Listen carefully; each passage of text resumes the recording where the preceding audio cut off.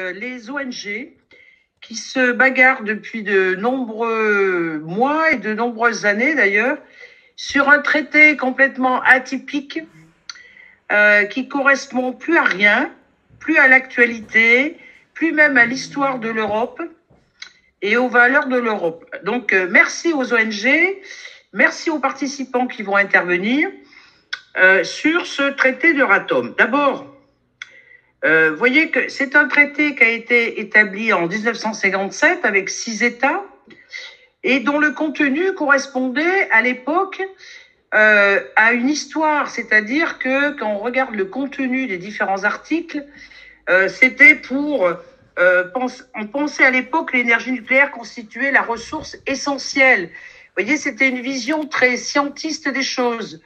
On pensait que cette technologie allait même apporter la paix, était lié au bien-être de l'humanité, dont le bien-être des citoyens européens.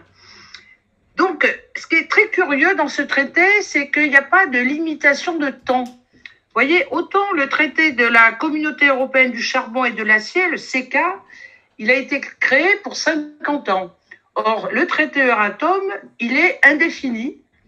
Euh, et pourtant, il reposait sur six pays à l'époque, alors qu'à l'heure actuelle, on est 27 pays et que euh, tous ces pays-là n'ont pas choisi forcément l'option nucléaire.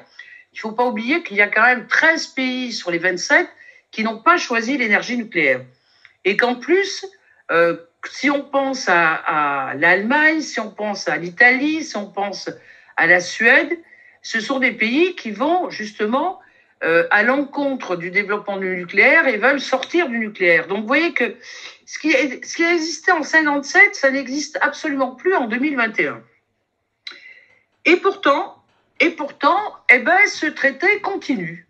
Continue, euh, même, euh, même par le fait qu'il y a eu des accidents nucléaires, alors qu'à l'époque, on ne pensait pas qu'un accident nucléaire puisse, puisse se passer. Il y a eu Trim Island, et puis après, il y a eu Tchernobyl, qui a été vraiment une catastrophe, et qui est encore d'ailleurs une catastrophe. Il y a eu Fukushima. Euh, eh bien, on, est en plein déni. Et on veut absolument euh, développer euh, ce nucléaire.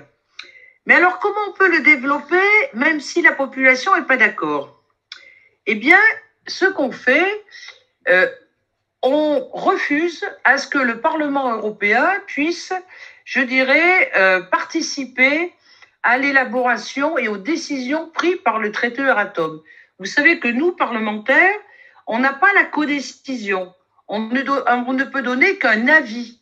Euh, même sur le financement, on peut absolument pas euh, participer au financement.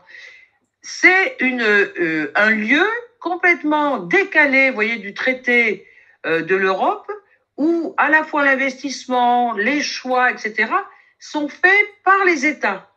Donc il doit y avoir quand même des deals entre certains pays comme l'Autriche, qui a refusé depuis le début de développer le nucléaire, et puis la France. Euh, et puis, euh, bah, il y a surtout la France à l'heure actuelle qui développe ça, puisque maintenant l'Angleterre est sortie euh, de l'Europe. Et puis certains pays de l'Est, comme la Hongrie, qui jouent non pas le développement de l'énergie nucléaire française, mais le développement de l'énergie nucléaire russe. À l'heure actuelle, les projets, eh bien, euh, vous savez qu'il y a six réacteurs qui sont en cours de construction au niveau de l'Europe, donc quatre PR, deux au Royaume-Uni avec Hinkley Point, mais bon, maintenant c'est plus c'est plus l'Europe en tant que telle, un en Finlande et un en France avec Flamanville. Mais vous savez que ce problème de développement des EPR, d'une part, ils subissent des retards énormes, ils ont un coût qui est incroyable, et euh, on ne sait même pas d'ailleurs s'ils ils sont capables de fonctionner. Donc, euh, que ça soit par rapport à, au fonctionnement, euh, et d'ailleurs j'avais posé la question à Ursula von der Leyen, qui est la présidente de la Commission européenne, parce qu'elle nous disait, lorsqu'elle a été auditionnée par le groupe vert, on veut absolument plus associer les parlementaires aux décisions au niveau de l'Europe. Je lui avais posé la question, mais alors qu'est-ce que vous allez faire du traité Euratom, puisque nous, parlementaires, on ne peut pas participer à la codécision? Et elle m'a répondu, mais expliquez-moi ce que c'est, Madame Rivasi, le traité Euratom. Donc vous voyez que notre problème aussi qu'on a, c'est que si la présidente de la Commission européenne ne sait pas ce que c'est que le traité Euratom, vous voyez qu'au niveau même des citoyens européens, ils savent pas que le nucléaire a un statut à part. Ils savent pas que les parlementaires ne peuvent pas participer à la décision. Et ça, c'est un obstacle très important. C'est pour ça que cette conférence est importante pour justement vulgariser et faire comprendre aux gens que le nucléaire a un statut à part qui est complètement antidémocratique, qui est opaque et qui fait courir des risques de façon très importante à la population mondiale. Euh, après, ils ont une autre tactique, c'est qu'ils sont en train de pénétrer, je dirais, euh, la mobilisation contre le réchauffement climatique en disant, eh bien, euh, le nucléaire, ça peut être une énergie décarbonée, donc grosso modo une énergie renouvelable, et qu'il faut absolument le développer. Alors là, il faut que vous sachiez que à la commission, il y a eu un premier groupe d'experts qui étaient des experts techniques sur la finance durable, qui avaient recommandé d'exclure le nucléaire des investissements verts, c'est ce qu'on appelle la taxonomie verte, et euh, eh bien, la Commission et les États membres n'étaient pas contents de ce rapport de ce groupe d'experts. Et ils ont demandé au JRC, qui est le Joint Research Center, de faire une nouvelle évaluation. Il faut savoir que ce JRC est très proche d'Euratom, dont 25% de ses activités sont du nucléaire, et que sans surprise, ben, ils ont dit que euh, c'est pas plus dangereux pour la santé humaine que les énergies renouvelables et qu'il fallait mettre le nucléaire dans euh, justement euh, les énergies décarbonées. Donc on sait très bien que le nucléaire ne peut pas participer, si vous voulez, aux accords de Paris, parce que si on voulait vraiment sa réduction au niveau de la production d'électricité dans le monde, pardon, il faudrait construire des milliers de centrales nucléaires.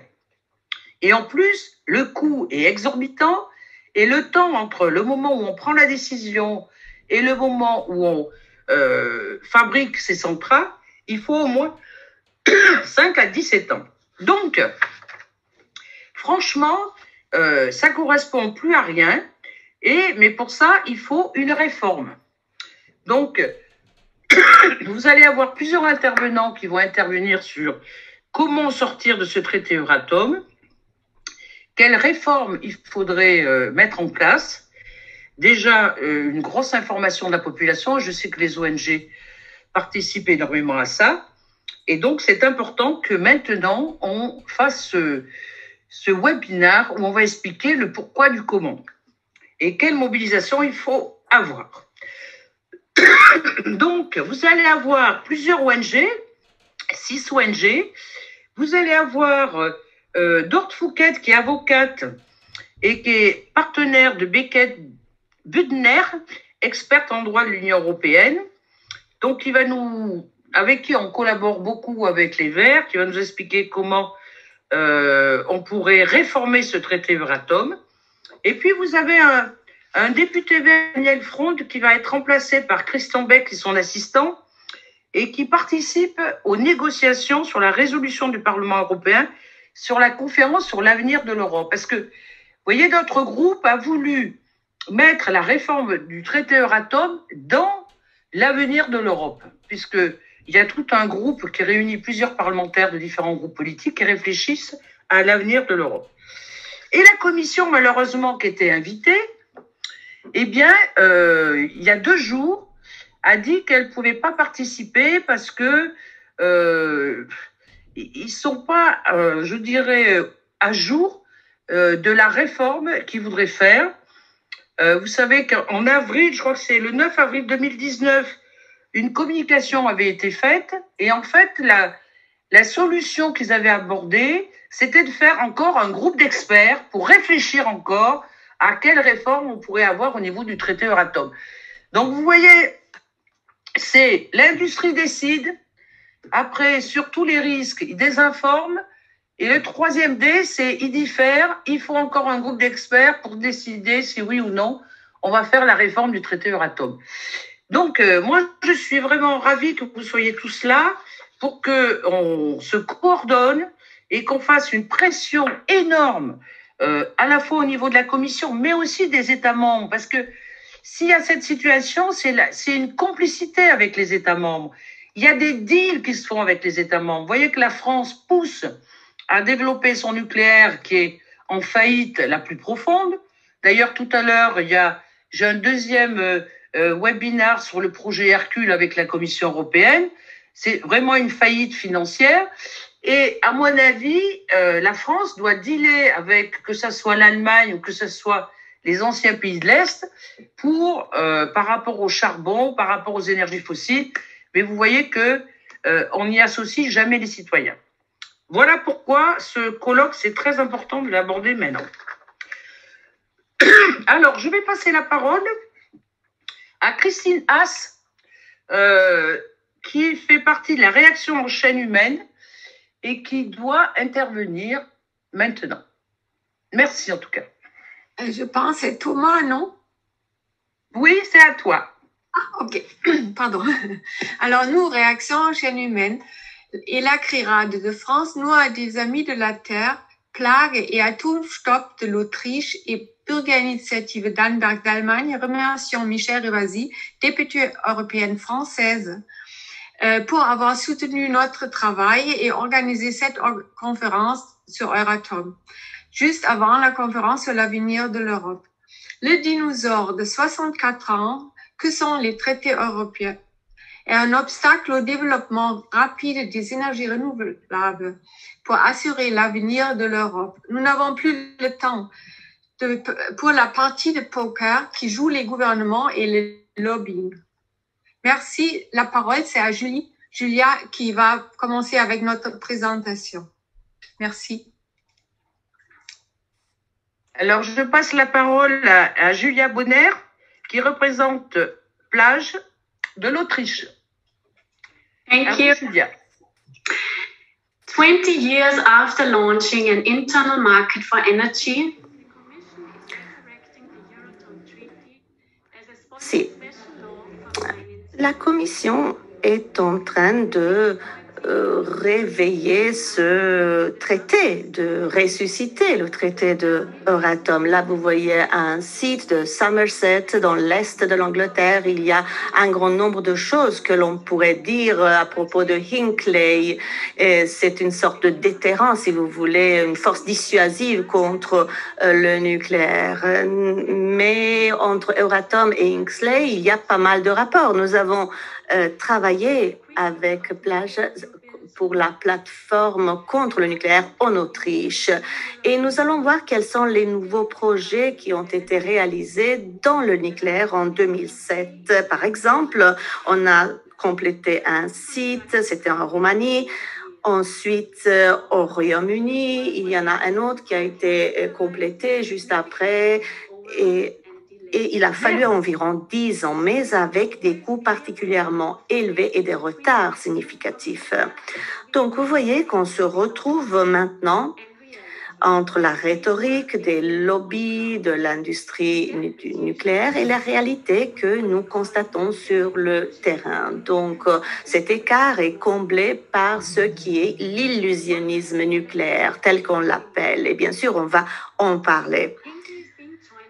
Maintenant, quelle est la réalité du site de Hinckley Eh bien, ce site a été construit par EDF, euh, donc, et puis ça a été complété par la CGN, qui est une entreprise chinoise avec ses réacteurs pressurisés à l'intérieur. Et il y a deux autres sites de ce genre au monde, mais la complexité de l'installation a créé pas mal de difficultés. Et effectivement, il y a eu énormément de retard que l'on peut mesurer en années. La construction a été retardée plusieurs fois. À la fin de 2021, c'est en fait c'était 2027. La fin a été 2021, ce sera par contre 2027. EDF donc n'était pas en mesure de euh, financer tout ça. Un accord a été établi avec le gouvernement britannique et ça c'est l'accord de 2013. Le gouvernement britannique a garanti à EDF un prix de 92,5 euh, livres pour chaque mégawatt généré et pour pendant les 35 ans d'exploitation de, de, Le prix est indexé et lié euh, euh, à l'inflation, justement. Une étude du German Energy Brain Pool euh, démontre que ceci coûtera 108 milliards d'euros en 35 ans. Pour faire une comparaison, les parcs éoliens offshore du Royaume-Uni coûtent 39,65 livres par mégawattheure. Le gouvernement britannique va souscrire jusqu'à 17 milliards de livres d'endettement et EDF sera compensé en cas d'abandon politique euh, du euh, nucléaire, de phase-out. En, échange, EDF se chargera de tous les risques de la construction, à l'exclusion des accidents nucléaires, y compris tout déplacement de coûts. Donc l'accord euh, fournit à EDF un énorme avantage concurrentiel sur le marché. C'est la raison pour laquelle la Commission européenne aurait dû être euh, donc euh, euh, mise au courant et voilà pourquoi l'Autriche a présenté un appel contre pour distorsion de la, concurrence. Ça c'est une, une, chronologie assez brève. La Commission européenne a approuvé l'État l'aide de l'État britannique en 2014. La Cour générale a, a donc euh, l'Autriche a présenté un recours contre la justice euh, et la Cour de justice a, rejeté le recours de l'Autriche en 2020.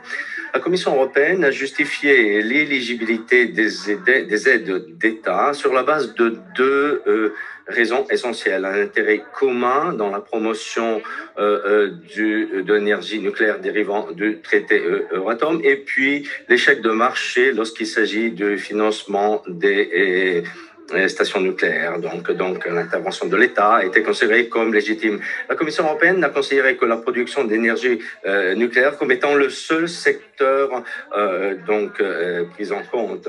Euh, si le secteur économique important est le seul marché européen, on ne peut pas dire que le marché est, est en, en défaillance. simplement, c'est un marché, c'est une technologie qui ne peut avoir de concurrence sur le marché et, et libre. La Cour générale a mis l'accent sur le fait que la promotion de l'énergie nucléaire en tant qu'objectif de l'Union européenne ne doit pas être subordonnée aux objectifs autres de l'Union européenne. Et cette position a été légèrement amendée par la Cour de justice, mais le résultat euh, du jugement n'a pas changé. Bref, le message ici est le suivant. Euratom établit son propre système juridique euh, puissant, euh, finalisé donc à l'utilisation de l'énergie nucléaire. Du point vue des aides d'État, les règles euh, sur le traité pour le fonctionnement de l'Union européenne s'appliquent au secteur nucléaire uniquement lorsque euh, Euratom ne comporte pas de règles, spécifiques. Euh, autrement dit, j'essaierai de récapituler avec mes propres propos. Euratom existe depuis 57. Depuis lors, quelques directives ont été adoptées pour réglementer l'industrie atomique. Elles sont vraiment très peu nombreuses, on peut les compter sur la doigt d'une main, et tout le monde le sait, on pourrait presque dire que Ratom euh, euh, souhaite promouvoir, non pas réglementer le secteur. Euratom a toujours été un outil de financement extrêmement important. Dans le cas de Hinckley, eh bien, euh, c'est, Hinckley, c'est un petit peu une sorte de résurrection du traité comme droit primaire pour justifier des mesures d'aide euh, de euh, l'État pouvant être acceptées telles qu'elles sont euh, définies dans le traité de fonctionnement de l'Union européenne. L'affaire le café a été est contesté plusieurs fois, c'est comme s'il y avait une sorte de membrane semi-perméable qui protège le marché intérieur. Ou alors on pourrait dire il y a Euratom, certains éléments ont été pris en compte, d'autres ont été exclus. Et la CGGE n'a pas été capable euh, de justifier ce euh, double traitement réglementaire. Est-ce qu'on peut se permettre le nucléaire? Est-ce qu'on peut se permettre Euratom qui crée un espace économique euh, ad hoc pour une industrie à haut risque qui ne, disons, qui, qui ne, n'apporte pas la réponse à ce qu'elle a promis? Donc, il faudrait par contre faire des choix plus rapides, plus économiques, plus sûrs et plus démocratiques. Merci. Si vous souhaitez travailler avec nous, voici mon adresse euh, électronique et nous sommes en passe euh, de compléter notre travail sur les nouvelles énergies. On vous enverra toute la documentation par la suite. Merci et je redonne la parole à Christine. Merci Julia. Grazie, Merci grazie de ton Giulia. intervention. Grazie per il tuo intervento. Euh, je vais, avant de passer la parole à Christine, je vais passer la parole à, à Thomas Weitz, qui est mon collègue euh, au niveau du groupe Vert qui va représenter l'Autriche. Donc, je trouve c'est très important qu'en début, il puisse donner sa position, justement par rapport à aussi ton intervention en tant qu'ONG. À toi, Thomas.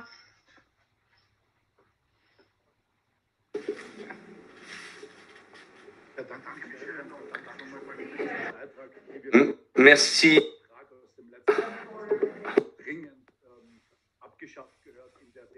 Merci Michel, Euh, merci. Bon, ce traité remonte au siècle dernier, il doit être aboli, il doit être éliminé. Et à mon sens, il doit être modifié dans le cadre d'un traité pour le renforcement des énergies renouvelables. Comme on l'a déjà vu euh, au vu des projets que nous euh, soutenons, l'industrie nucléaire, depuis le début du débat sur le climat, sur le changement climatique, a, euh, disons, trouvé des moyens pour s'imposer.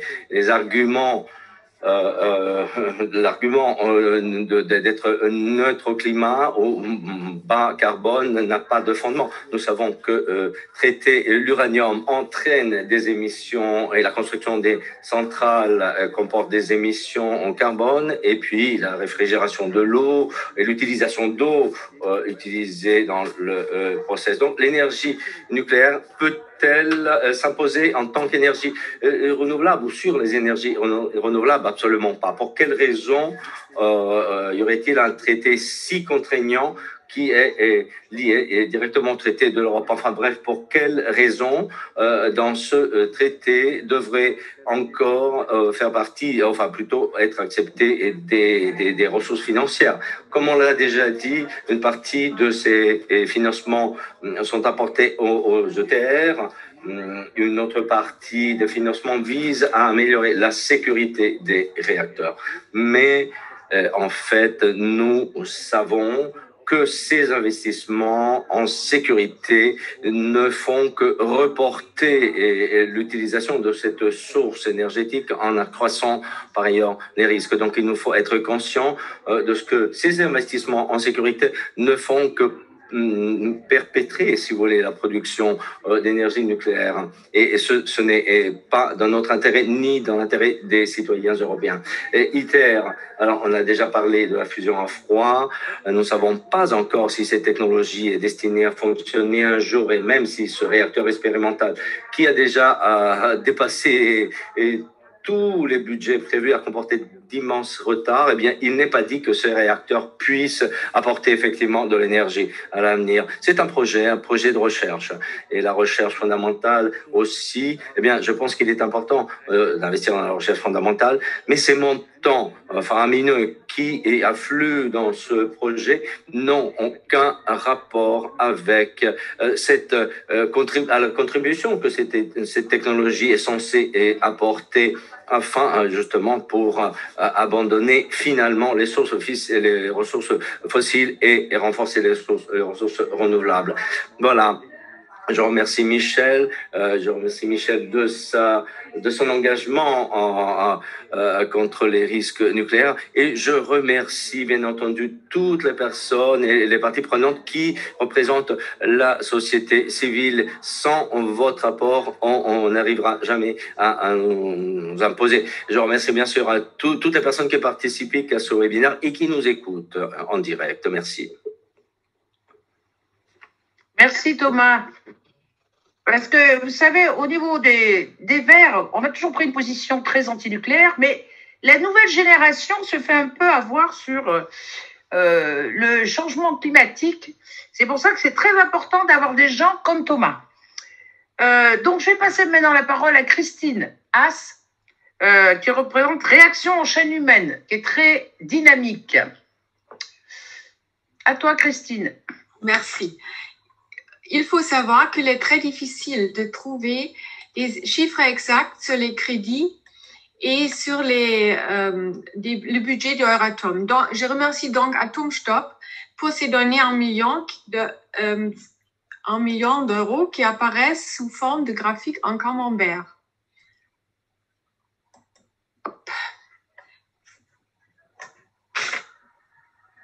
Pardon, voilà.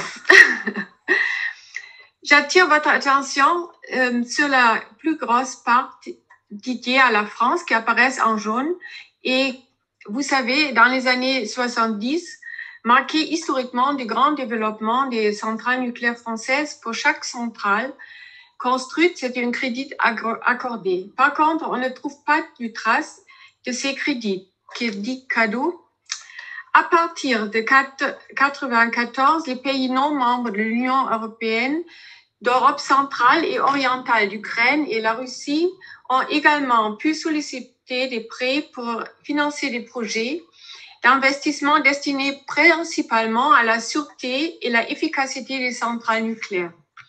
Une étude de Lorenz 2014 montre toutefois que ces prêts ont été utilisés pour financer de nouvelles constructions et n'ont pas entraîné d'augmentation de la sécurité. La Bulgarie, la Roumanie et l'Ukraine ont reçu environ 519 millions d'euros dans ce contexte. Entre 70 7 et 2009, euh, dans l'ensemble, 1 milliard 124 millions d'euros ont été accordés à ces trois pays.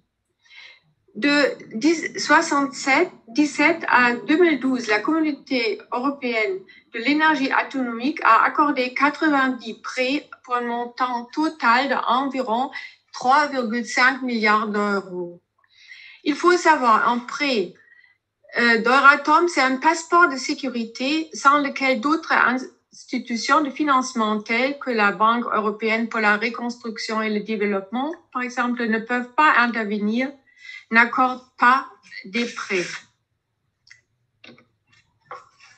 Ce camembert montre bien que Euratom a été créé principalement pour la production d'électricité en Europe et le retraitement qui apparaît en bleu clair représente 4% des crédits.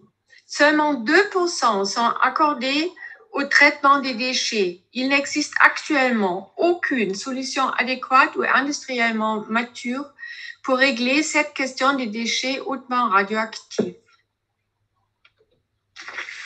Vous trouverez dans le budget agrégé Euratom de recherche et de formation de 2014 à 2018 un total de 2 milliards 237 millions d'euros consacré pour la moitié à la fusion, un pas à la fission nucléaire et aux actions directes à définir. Un peu d'histoire. Conformément à l'article 7 du traité Euratom, le budget ITER, réacteur, réacteur euh, thermonucléaire expérimental international, a été retiré du cadre financier pluriannuel du programme Euratom à partir de 2014. Pourquoi? Eh bien, le budget pour ITER, était tellement faramineux qu'il a été séparé de celui d'Euratom. En partie, cette hausse du budget était consacrée à la construction d'ITER. Cette année, en 2021, les États membres de l'Union européenne ont approuvé une rallonge de 5,6 milliards d'euros pour ITER. Cela signifie que 15 ans seulement après la décision de créer ITER en 2006, les coûts, les coûts initialement prévus ont été multipliés par 3 et pour atteindre 20 milliards d'euros. Cette fois le budget en milliards. Voici le financement pour les projets de recherche. C'était le horizon 2020. Euh, On observe un grand écart dans l'attribution des fonds Lorsqu'on fait l'addition des fonds alloués à Euratom et ITER, on arrive à 8,5 milliards d'euros. Or, pour l'alimentation, l'agriculture et le développement rural, ainsi que la bioéconomie, on est seulement à 6 milliards pour 6 ans. Hmm. Pour l'information, ici on voit que l'Allemagne a adopté une posture intermédiaire. D'un côté, elle a décidé de sortir du nucléaire. De l'autre, elle a choisi de maintenir un lien avec l'Euratom sur le pôle de recherche. Günther Herrmeier va vous dira plus. Concernant l'objectif inadéquat d'une neutralité climatique d'ici de 2050, la fusion nucléaire arrivera bien trop tard. Aujourd'hui, de toute évidence, toute personne au sein des gouvernements ne se pose pas cette question et beaucoup courent aveuglement après les promesses des chercheurs nucléaires. Ils décident des milliards supplémentaires, comme Thomas il a déjà dit, de financement pour la recherche sur la fusion nucléaire, tous les six ans, environ tous en acceptant que les constructions aient déjà six ans de retard. Enfin, je dois souligner que la promotion unilatérale de l'énergie nucléaire par Euratom ne doit pas continuer dans le cadre des objectifs climatiques européens. Cela fausse la concurrence avec d'autres sources d'énergie. Ce gaspillage de fonds par Euratom ITER doit être arrêté. Nous comptons sur l'Union européenne et sur vous en tant que ses représentants pour stopper l'hémorragie le plus vite possible et de verser les fonds vers des modèles durables et non pas de sauvegarder des industries en faillite. Vous voyez bien, comme Michel il elle a déjà dit, euh, il voyait bien le projet Hercule présent, présenté hier par le gouvernement français. Il faut rester très vigilant pour pour toutes les conséquences du projet Hercule. Je vous remercie et je donne la parole à Roland. Merci Christine. C'est intéressant de voir un peu tout l'argent qui a été donné. Euh, et ça, c'est en dehors de, du euh, débat démocratique avec le Parlement européen. Donc maintenant, je suis très content de donner la parole à Roland Desbordes, euh, un des, ex-présidents de la CRIRAD que j'avais créé à l'époque en 86. Donc, euh, euh, Roland va nous parler des normes de radioprotection qui sont faites par des experts dénués de tout conflit d'intérêt, mais il va nous expliquer ça. Alors, à toi, Roland.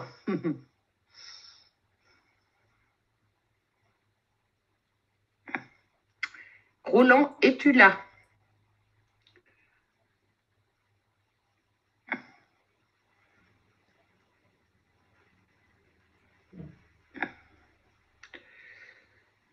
Euh, ah, Oh non. ça y est.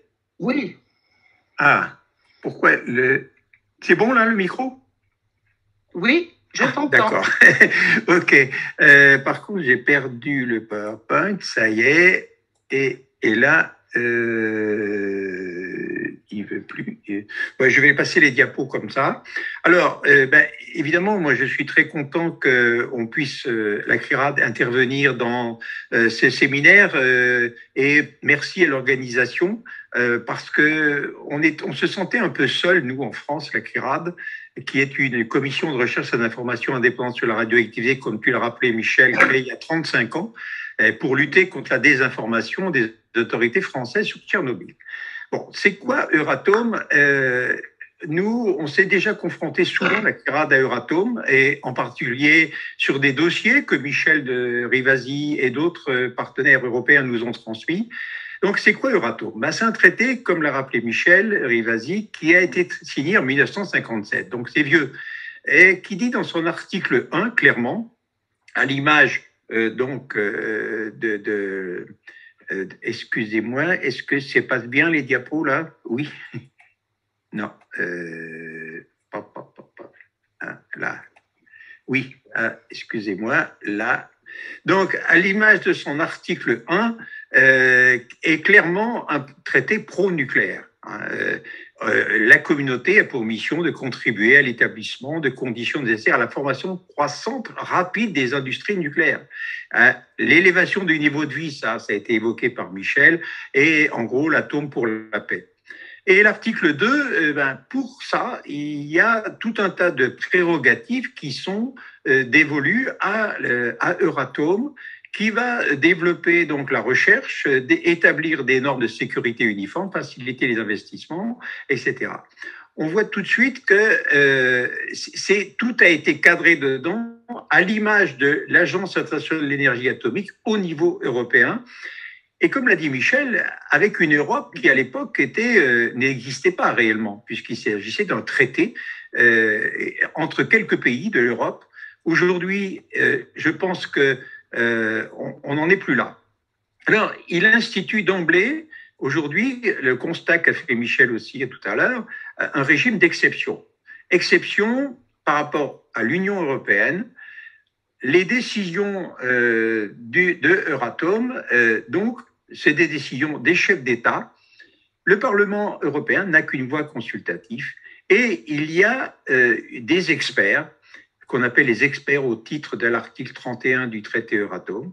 Ces experts, effectivement, ne, ne, correspondent pas aux, critères habituels des experts européens euh, qui, eux, euh, donc, euh, bah, on, on, connaît leur nom, en gros, on n'est pas toujours d'accord avec eux, mais au moins, euh, on, sait qu'on on, on arrive à savoir leur nom et ils ont des comptes à rendre, en fait. Là, on s'aperçoit que pour le traité Euratom, bah, euh, ils n'ont de compte à rendre à personne pratiquement. Et on a quelques de ces exemples, on va les voir, où euh, on a vu que ça a donné au point de vue euh, de, des effets sanitaires. En fait, on a au plus haut niveau de la structure Euratom un conflit d'intérêts majeur entre d'un côté, on l'a bien compris, une volonté de développer l'énergie nucléaire au moindre coût, et de l'autre côté, une mission euh, quasiment régalienne hein, euh, de euh, fixer des normes sur cette industrie à risque et à risque sanitaire. Et c'est eux qui ont cette prérogative de fixer des normes sur les, la radioactivité. Alors, ce sont des, pourtant, ce sont des logiques très différentes. Hein. Euh, on, voit, on, sait très bien que l'Union européenne, bah, c'est la protection des populations, c'est euh, tout ce qu'on sait sur l'économie, le, bah, le, social, etc. Alors que Euratom, c'est clairement développer l'industrie nucléaire. Il faut savoir, c'est qu'à l'époque, euh, bah, c'était en 1957. Donc, il y avait des prérequis en quelque sorte. C'était l'atome pour la paix, ça, ça nous vient des États-Unis, ça, c'était suite à Hiroshima, Nagasaki. Et c'était un programme énorme au niveau planétaire, Atome for Peace. Et l'Europe a complètement adopté, je dirais, ces, ces idées-là. Euh, on sait aujourd'hui qu'elles sont complètement fausses parce que, comme l'a rappelé Michel, ben, euh, euh, la paix, etc., on sait bien que ça n'est pas compatible avec le nucléaire. Alors, scientifiquement, euh, ce sont des, des, choix inacceptables. Alors, nous, on a relevé, la CRIRAD, un certain nombre de problèmes de choix Euratom. Ce sont des choix obsolètes, en particulier en fonctionnement normal, et puis on verra en situation accidentelle. En fonctionnement normal, Euratom s'occupe de la gestion des déchets radioactifs.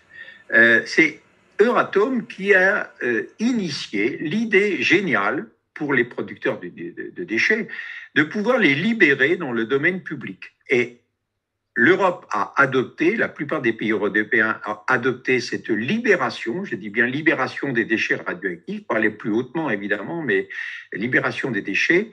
Et aujourd'hui, en France, eh bien, on était le seul pays, parce que la CLERA s'était mobilisée à pas avoir adopté en contradiction avec les, propositions d'Euratom, euh, cette libération. Mais aujourd'hui, la France veut rattraper évidemment tous les autres pays pour adopter ces seuils de libération et euh, ont été mis euh, en consultation en France de, des arrêtés et des décrets qui permettrait aux producteurs de déchets très faiblement radioactifs en France, mais euh, pas forcément que les très faiblement radioactifs, de les, libérer de tout contrôle et de les recycler dans le domaine public.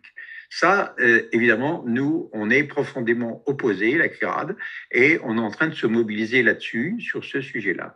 Sur euh, les déchets hautement radioactifs, cette fois, Euratom euh, prône l'enfouissement contre la vie en fait des populations. On sait très bien euh, que ce soit en Allemagne, en France, là où on a, on veut enfouir des déchets radioactifs. Enfouir, ça veut dire les oublier. Eh bien, les populations se mobilisent, les citoyens se mobilisent. Et puis, euh, en fonctionnement normal, ben, toutes les installations sont, il faut le savoir, autorisées à rejeter de la radioactivité dans l'environnement. Alors, ce sont des rejets entre guillemets encadrés, contrôlés, mais ce sont des rejets de polluants radioactifs, donc toxiques, chimiques, radiologiques, euh, cancérigènes et de les libérer dans l'environnement. Euh, c'est complètement euh, surréaliste quand on pense à aujourd'hui toutes les idées fondamentales qu'on prône sur la protection de l'environnement. C'est bien beau protéger l'environnement, mais quand on a des industriels qui sont autorisés à en rejeter, on n'a plus rien à dire, nous les citoyens. Et puis là, un dossier sur les normes, Euratom s'est aussi intéressé aux normes sur la radioactivité de l'eau du robinet. Normalement, c'était les normes sur l'eau du robinet, ça ne dépend pas d'Euratom. Mais comme c'est la radioactivité, Euratom a réussi à euh, s'emparer du dossier.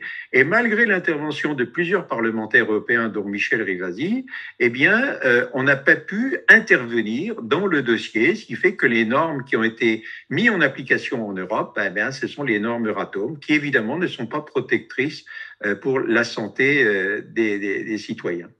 Alors, euh, évidemment en situation accidentelle, parce qu'il faut l'imaginer, et eh bien là, Euratom, évidemment, a tout prévu euh, en fixant des niveaux d'intervention, ce qu'on appelle, c'est-à-dire des niveaux en dessous duquel on ne protégera pas les gens, c'est-à-dire qu'on ne prendra aucune mesure de protection. Ces niveaux d'intervention qui ont été fixés de manière très élevée, bien supérieure à ce qui était normalement appliqué pour Tchernobyl, qui n'a pas été appliqué partout, ou qui ont été appliqués suite à Fukushima. Nous, on, ne protégera les citoyens, on ne mettra en mesure des protections que si les, les, doses envisagées pour les citoyens sont très élevées. Euh, les normes sur les aliments, euh, Euratom a déjà anticipé qu'il pourrait y avoir un accident et qu'il y aurait des contaminations des aliments en Europe, et des normes euh, pour ça, qui sont obligatoires, qui seront en application dans tous les pays, puisque les aliments circulent à travers l'Europe. Et euh, ces normes, donc euh, c'est dans la diapo suivante, euh, je ne veux pas la commenter, mais c'est des valeurs qui sont très supérieures à ce qui était préconisé au moment de Tchernobyl, ce qui est préconisé aujourd'hui au Japon. Nous, on mangera euh, 2, 5, 10 fois plus de radioactivité dans les aliments de manière totalement légale. Et évidemment, tout ça, c'est pour que ça coûte moins cher à gérer un accident. Et puis, dernier point, c'est l'indemnisation des victimes. Le nucléaire n'est pas assuré par des assurances, ce qui fait que si vous êtes victime euh, directe ou indirecte d'un accident nucléaire, votre assurance habituelle ne vous couvrira pas. Et comme le nucléaire n'est pas assuré par des assurances privées, euh, eh bien, ce sont les d'une petite partie les exploitants qui mettent une, on leur a dit, ben, il faudra mettre un petit peu la main à la poche, et sinon, ce sont les États euh, riverains qui euh, mettront la main à la poche, c'est-à-dire nous-mêmes. Ça, c'est euh, un fonctionnement tout à fait encore hors norme de l'industrie nucléaire par rapport aux autres industries à risque que l'on connaît. Alors, évidemment, dans ces conditions, nous pensons qu'il n'y a qu'une seule solution, c'est qu'il faut l'abroger qu'il y ait des normes européennes sur la radioactivité, on est tout à fait d'accord, on en a besoin, mais il faut qu'elles soient fixées par nos représentants à l'Europe. Merci à tous.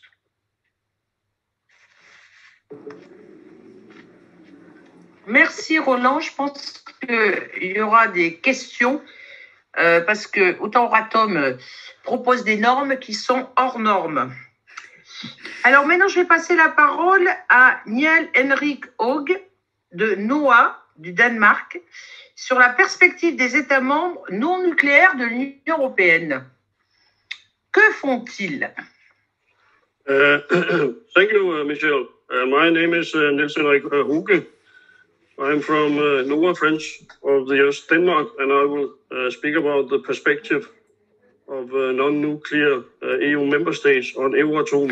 Merci, merci. Alors, je vous fournirai la perspective euh, euh des États membres euh, de l'Union non nucléaire sur Euratom et sur la réforme du traité. Alors, comment, en, quelle est la question? Alors, 14 États membres sur les 10, sur le, sur le 27, euh, qui sont la majorité, n'ont pas de programme euh, d'énergie nucléaire actuellement encore. Dans ces pays, euh, euh malheureusement, euh, il y a très peu d'intérêt à ce que l'Euratom soit réformé ou abrogé. Ça ne fait pas partie de leur programme politique et historiquement, n'ont jamais été prêts à dépenser du capital politique, enfin, position politique à ce propos. Dans la réforme euh, des traités de l'Union européenne, le, processus, la stratégie et la tactique sont importants. Donc, la question qui, qui se pose est est-ce qu'il y a un moyen de régler ce problème? Alors, l'exemple danois euh, pourrait être emblématique euh, de l'enjeu actuel. Au Danemark, il n'y a pas de programme d'énergie nucléaire. Euh, le programme euh, à l'origine a été abandonné en 1985 suite à la pression euh, de la population. Donc, et aucune centrale n'a été construite au Danemark. En 2019, tous les partis politiques du Parlement danois ont approuvé une résolution en demandant une réforme d'Euratom. Le Parlement a exprimé son insatisfaction quant au fait que le Danemark contribue annuellement annuellement à raison de 27 millions d'euros au, budget total du programme Euratom tout euh, en n'ayant pas, en n'appuyant pas et, surtout en n'ayant pas euh, d'énergie nucléaire. Donc l'idée était donc de, de réduire euh, les budgets Euratom et le rendre plus avantageux pour les pays qui n'ont pas de nucléaire. Ensuite, le Parlement danois souhaitait justement enquêter quant à, à, sur les questions Euratom. Une minorité voulait que le gouvernement danois collabore avec les États membres de l'Union européenne qui, euh, qui ont l'intention de, de, réformer ou d'abolir euh, le traité Euratom. Néanmoins, les médias danois euh, ne se sont jamais vraiment penchés sur la question. Aucun intérêt n'a été manifesté de la part des, de l'industrie des énergies renouvelables. Et le gouvernement danois n'a jamais vraiment changé de politique vis-à-vis -vis du traité Euratom. Donc, euh, sur la base de l'exemple euh, danois, il y a lieu de se poser la question suivante. Alors, qu'est-ce qui pourrait vraiment lancer, déclencher un changement dans la position du Danemark et des autres États membres de l'Union européenne non nucléaire sur la réforme des traités en matière énergétique? Quelle pourrait être une voie possible? Une solution qui nous vient à l'esprit, ce serait d'inclure toutes les propositions de réforme constitutionnelle ayant trait à l'énergie en même temps une procédure globale de révision. Et les sujets en faveur de cette proposition semblent être assez évidents. L'Union européenne a besoin d'une nouvelle vision euh, en matière d'énergie et un, un traité sur les énergies renouvelables, sur l'efficacité énergétique, etc., eh bien, seul euh, ceci pourra fonctionner. Il faut également un cadre stable pour le développement à long terme des énergies renouvelables. Donc, euh, dans le cadre d'une négociation, il serait censé de mettre euh, en jeu un ensemble d'options pour aboutir à une véritable transition énergétique euh, euh verte. Dans les États membres où le nucléaire n'existe pas, l'attention est portée sur l'efficacité énergétique, les énergies renouvelables, mais aucune garantie n'existe que les centrales abandonnées soient réellement euh, remplacées par des stations ou des moyens de production d'énergie renouvelable. Elle pourrait être remplacée par, par euh, l'exploitation de gaz fossile euh, ou de, ressources fossiles. Aucune euh, proposition euh, du Conseil ou de la Commission ne sont suffisantes pour limiter le réchauffement global et pour répondre aux, aux euh, de l'accord de Paris. Et en 2019, 28 États membres avaient présenté des plans intégrés pour l'énergie et le climat pour atteindre les objectifs euh, d'ici 2030 euh, vers euh, l'objectif zéro carbone en 2050. Mais tous les plans sont faibles en termes euh, d'ambition et de crédibilité. Et, et les, les, plans les plus ambitieux n'atteignent que la moitié du potentiel, alors que la moyenne des États membres n'arrive qu'à un tiers, les objectifs étant inadaptés les détails euh, étant insuffisants concernant les politiques et les financements nécessaires pour aller de l'avant. D'après la Cour des comptes euh, européenne, euh, l'Union européenne doit engager des actions beaucoup plus importantes pour générer de l'électricité à partir de l'éolienne et de l'énergie solaire pour atteindre ses objectifs euh, en matière d'énergie renouvelable. Depuis 2014, euh, les énergies renouvelables ont subi un ralentissement et la Cour des comptes invite la Commission à faire en sorte que les États membres soutiennent davantage cette politique et souligne que l'objectif 2030 pour les renouvelables sera difficilement atteint euh, euh, sans objectifs réellement contraignants.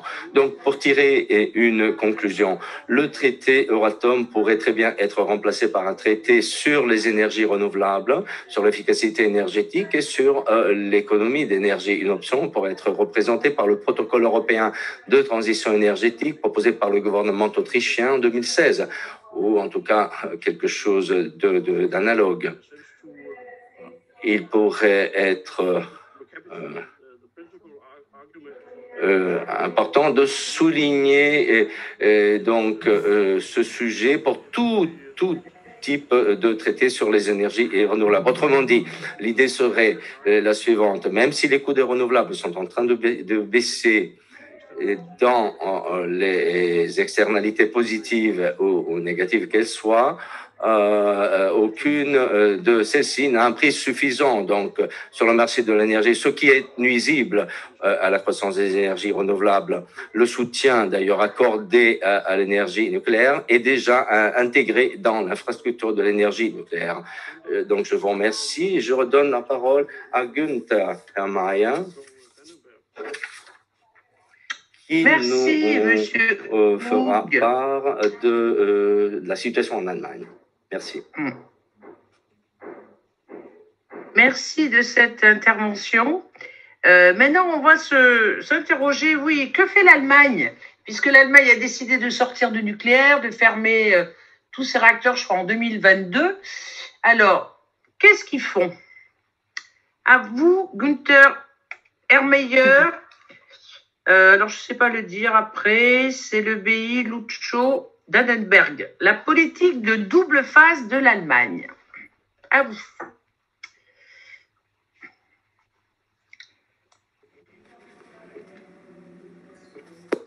Thank you, Michel. Thank you, everybody. Good afternoon to all of you. Merci, Michel. Merci à tout le monde. Je m'appelle Günther Herrmeier. Je travaille euh, dans la campagne pour le climat sur le euh, Schutz Dannenberg. Voici donc euh, un bilan de la situation en Allemagne. Alors, euh, la catastrophe de Fukushima a, bien euh, tiré au clair la situation du nucléaire en Allemagne. Madame Merkel a trouvé les bons mots, les, bons propos pour mettre euh, le mot de la fin à, cette énergie. La commission d'éthique qui a été créée avait déjà exposé les risques et, et les coûts qui n'ont aucune légitimité éthique la fin du traité Euratom vers un nouveau cadre réglementaire, ça, aurait pu être une étape importante.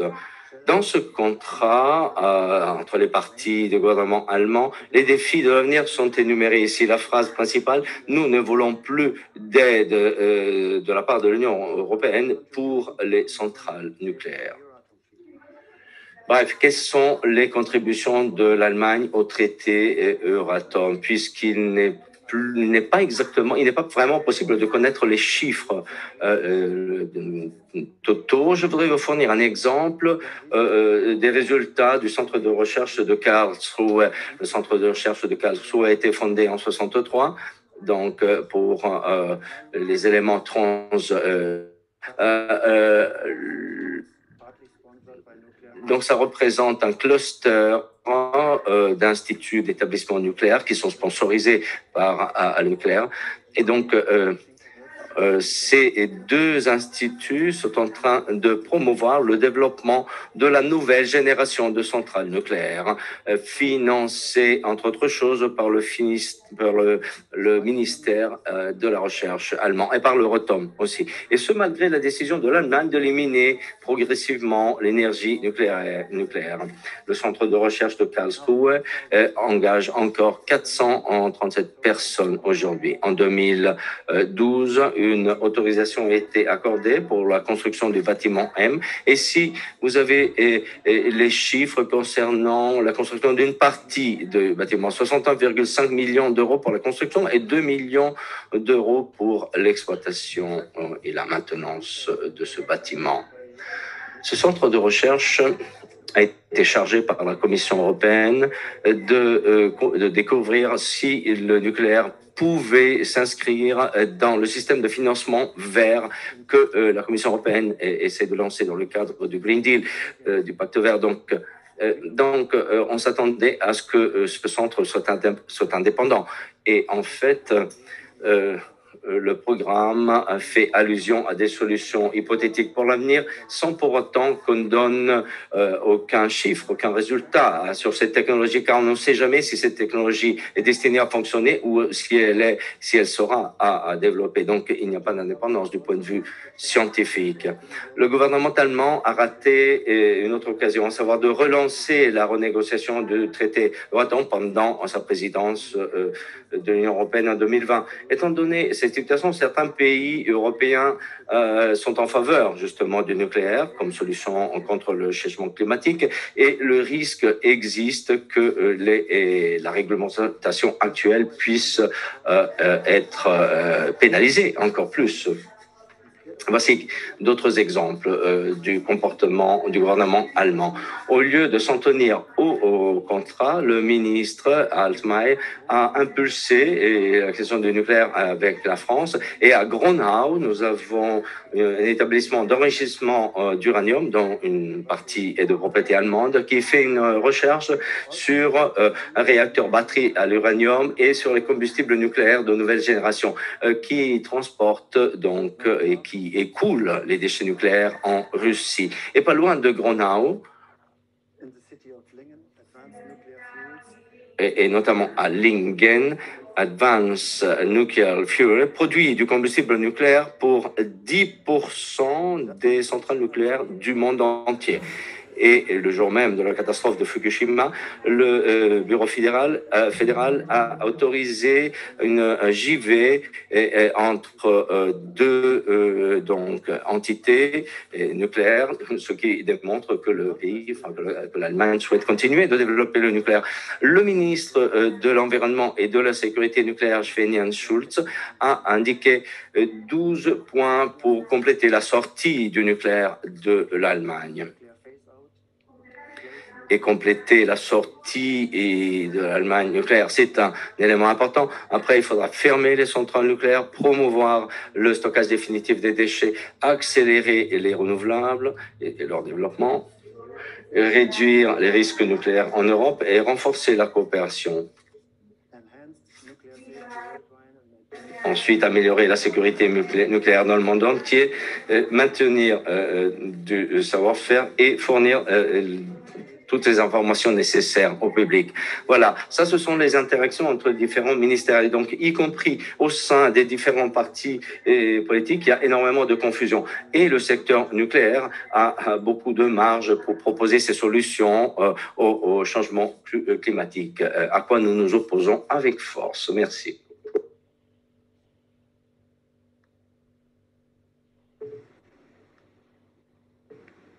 Merci euh, Gunther de ces explications.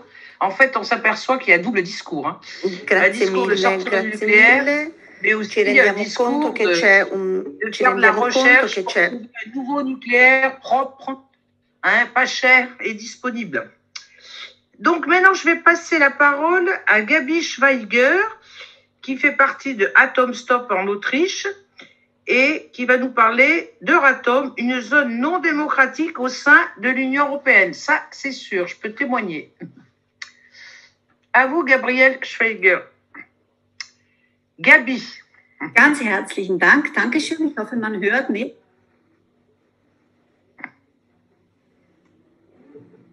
Ich habe jetzt äh, italienische Untertitel oder äh, Simultanübersetzung. Merci, merci beaucoup. Ben, tout d'un coup, j'ai une traduction dans d'autres langues. Donc, je m'appelle Gabi Schweiger. Je fais partie de Atom Stop et je viens d'Autriche. Donc, je voudrais vous parler d'un aspect critique, le manque total de démocratie pour ce qui est de l'Euratom, parce que la communauté européenne de l'énergie atomique n'a pas été fondée par la volonté du peuples ou par une majorité des citoyens. C'était l'industrie du nucléaire qui a agi. Donc ce traité a été écrit de manière privilégiée et à l'avantage d'une seule et unique source d'énergie. Donc euh, bien sûr, cela ne correspond absolument pas aux principes démocratiques de l'Union européenne, même si le choix, disons, euh, libre de l'énergie à utiliser,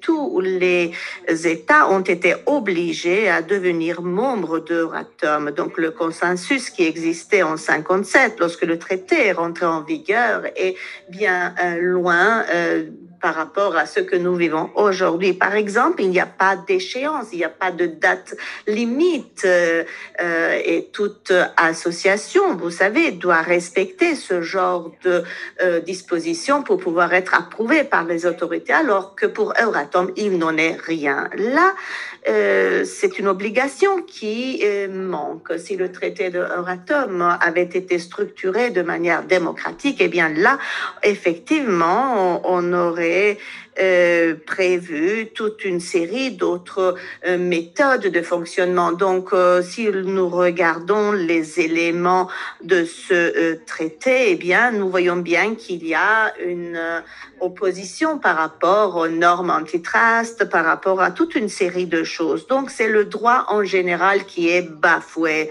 Hinkley Point C, par exemple, les règles de la concurrence telles qu'elles sont appliquées dans le marché libre, eh bien, sont violées. Donc, le principe de no significant harm est menacé par Euratom. Et en plus, Euratom ne euh, assume pas la responsabilité euh, civile, euh, ne le prévoit pas. Et donc, ce vide euh, fait la promotion d'un régime de irresponsabilité et, donc, euh, nous voyons bien que cela n'est pas possible. Donc, un problème similaire existe également avec les standards de sécurité. Il n'y a que des standards minima et les vérifications sont laissées aux, États qui d'habitude euh, sont entrelacés avec les, ceux qui gèrent les, les centrales. Donc vous voyez bien que la transparence n'est pas dans l'intérêt de l'Union européenne et puis des tentatives des différents États tels que l'Autriche, l'Allemagne, etc., qui voulaient euh, comprendre quelle est la part de leur contribution, eh bien, ils n'ont pas pu avoir accès au euh, bilan parce que les flux d'argent ne sont pas euh, clairs. Il n'y a pas de registre permettant de retracer euh, tout cela. Et puis, les évaluations économiques régulièrement menées font défaut. Il faudrait, par contre, parce que depuis longtemps, on aurait pu découvrir que le rendement économique est une catastrophe et que l'alarme devait être, la sonnette de l'alarme devait être tirée depuis longtemps. Mais nous, le peuple, on ne peut que s'adresser à vous, nos représentants démocratiquement élus au Parlement européen, mais vous n'avez aucune compétence euh, en la matière pour ce qui est des décisions. C'est Euratom qui gère tout et l'objectif est de créer les conditions pour le développement d'une industrie nucléaire puissante en Europe. Que l'on aime ou pas, peu importe, le Parlement européen n'a pas voix au chapitre. Et on pourrait aussi nous adresser à la Commission en tant que gardienne des traités et responsable vis-à-vis des citoyens européens. Mais pas pour cela. Donc, euh, le traité de Ratum, euh, en tant que droit primaire, exclut la participation des citoyens. Donc, il est clair que l'énergie nucléaire, euh, au fil des années, des décennies, a provoqué un grand nombre de problèmes qui doivent être résolus. Il est temps désormais de résoudre tout cela. Et c'est très important que ces tâches et que cette gestion soit une gestion démocratique. Et surtout, nous avons besoin d'un engagement clair que l'énergie nucléaire ne doit plus être définie comme intérêt commun à l'intérieur de l'Union européenne. Nous sommes confiants que la nouvelle conférence sur le futur de l'Europe puisse saisir cette opportunité et euh, abolir et éliminer Euratom pour euh, euh, permettre plus de renouvelables, de renouvelables efficaces et à, disponibilité à disposition de tout le monde. Donc, nous comptons beaucoup sur vous, les parlementaires, pour que vous puissiez vous unir à nous, pour essayer vraiment de faire de votre mieux dans ce but. Donc, merci, merci beaucoup pour l'attention.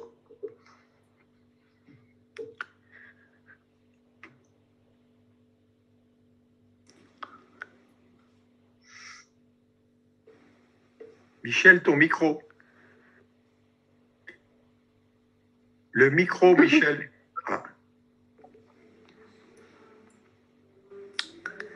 Nous attendons le micro.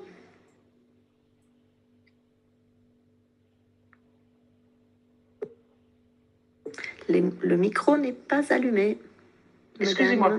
Oui, merci pour cette intervention. Euh, c'est vrai que vous comptez beaucoup sur nous. Euh, le problème, c'est que euh, ce qu'il faut dire aussi, c'est que le nucléaire est assez lié à des partis politiques. Voyez, on a, il faudrait le rajouter ça, c'est que comme c'est assez technique, il y a beaucoup de parlementaires, qui soient nationaux d'ailleurs ou européens, euh, qui suivent la ligne de leur parti politique. Et euh, moi, je le vois bien en France, euh, que ça soit les républicains, que ça soit même une partie des socialistes, que ça soit le parti communiste qui a historiquement été très lié au nucléaire dans le développement du nucléaire civil, ben, c'est des gens qui vont voter d'une seule main pour le développement du nucléaire. Donc, euh, on a aussi un problème d'information. Et puis, il faut se dissocier en fait des partis politiques. Et on retrouve un peu la même chose aussi euh, au niveau du Parlement européen. Alors, il commence à y avoir euh, une évolution, mais ça aussi, c'est assez problématique. Donc, maintenant, on est dans la phase des questions-réponses. Donc, s'il y a des gens qui veulent poser des questions aux différents intervenants des ONG, ben, allez-y.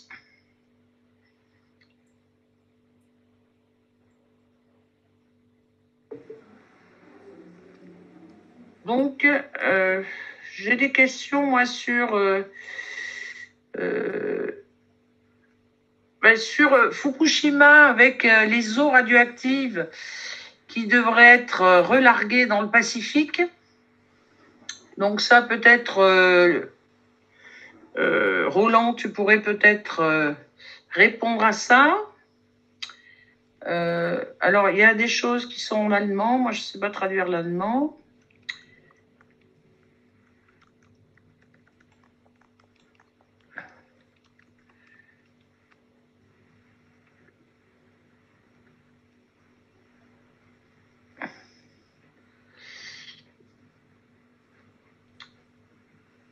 Vas-y, Roland, tu peux répondre à la question sur les eaux radioactives de Fukushima?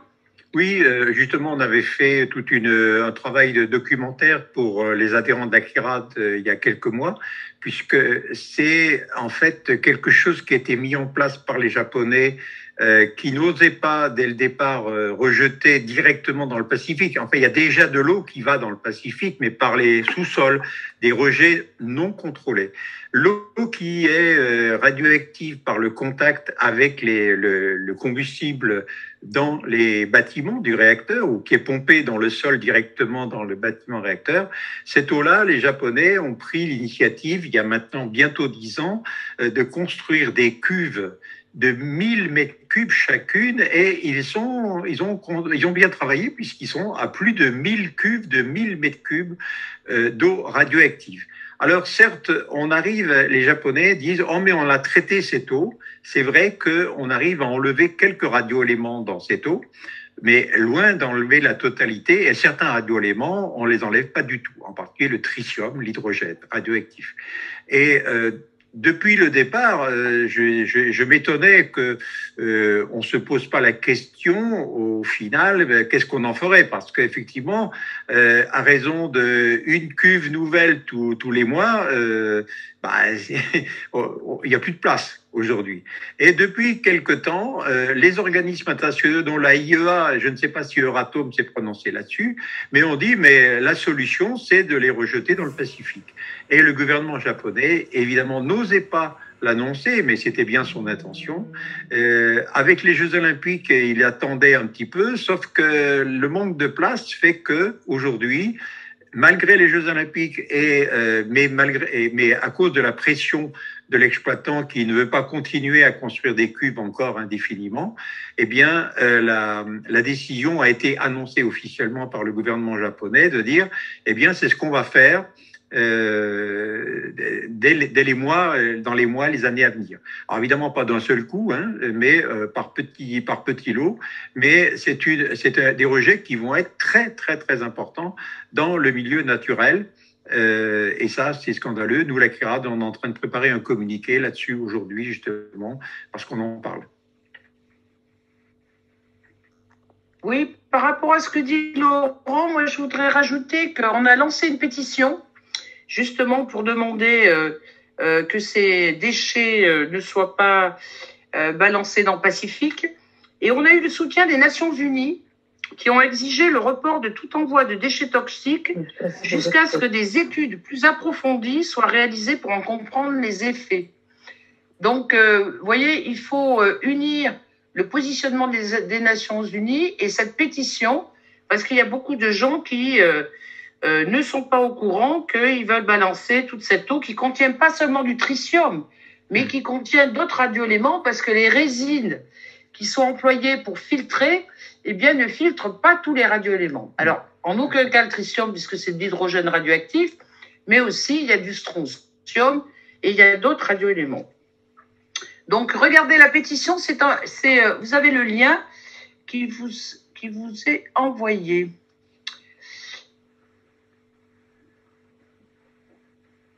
Euh, sur la taxonomie, je vois que c'est quoi la définition? La taxonomie, c'est en fait les investissements verts, puisque vous savez qu'il y a le Green Deal en Europe euh, pour développer euh, tout ce qui est en accord avec la problématique du réchauffement climatique.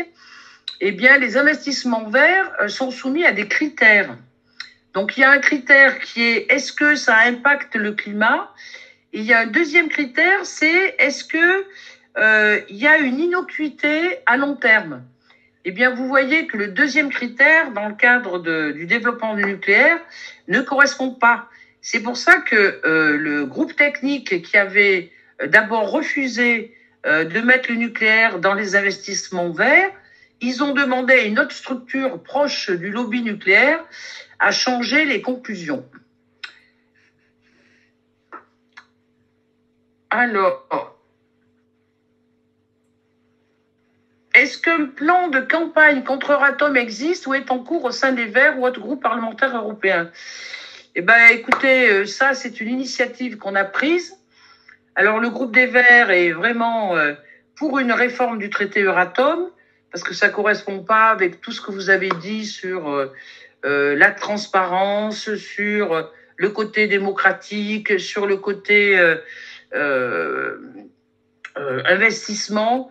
Euh, mais ce qui est très surprenant, c'est comment les États qui n'ont pas choisi le nucléaire ou qui veulent sortir du nucléaire, et on l'a vu euh, par rapport à, l'intervention de Günther, euh, pourquoi ils n'ont pas un poids, voyez, important pour essayer de réorienter et de transformer cette réforme du traité Euratom. Alors, est-ce que dans toutes les, questions que vous voyez dans questions et réponses, il y a euh, quelqu'un des ONG qui veut répondre?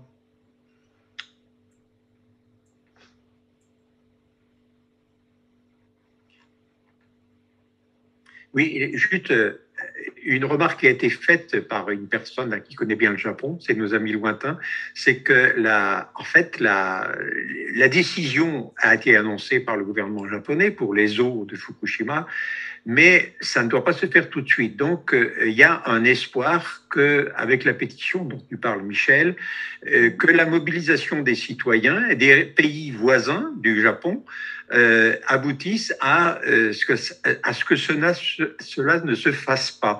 En tout cas, c'est notre espoir. Enfin, pour vous raconter une anecdote que j'ai que j'ai eue, euh, autrefois, il y a des parlementaires japonais qui sont venus au Parlement.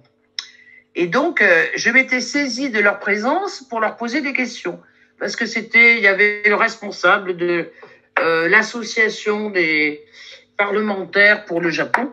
Et je leur ai posé la question, je dis, quelle est la position des parlementaires japonais là-dessus? Est-ce que vous êtes pour? Est-ce que vous êtes contre? Est-ce que vous avez un positionnement suivant vos partis politiques? Là-dessus, ils ont tous fait, ils ont tous rabaissé la tête. Et il y a quelqu'un qui est intervenu en disant, mais c'est pas plus dangereux que le radon. Donc je vois pas pourquoi on pourrait pas les rejeter dans le Pacifique, parce que le problème au Japon, c'est le radon. Ah Alors vous savez, c'était la même désinformation qu'on a eue pour Tchernobyl, où euh, dès que c'était contaminé, c'était toujours la radioactivité naturelle qui était la plus dangereuse. Et ça montre bien aussi que les parlementaires japonais, vous voyez, n'ont pas la parole libre. hein. parce que là, ils ne se sont pas exprimés. Bon, écoutez, maintenant je vais euh, passer la parole à, à Dorte Fouquet, qui est une avocate qui travaille depuis très longtemps sur le traité Euratom. Et quelles sont les perspectives juridiques?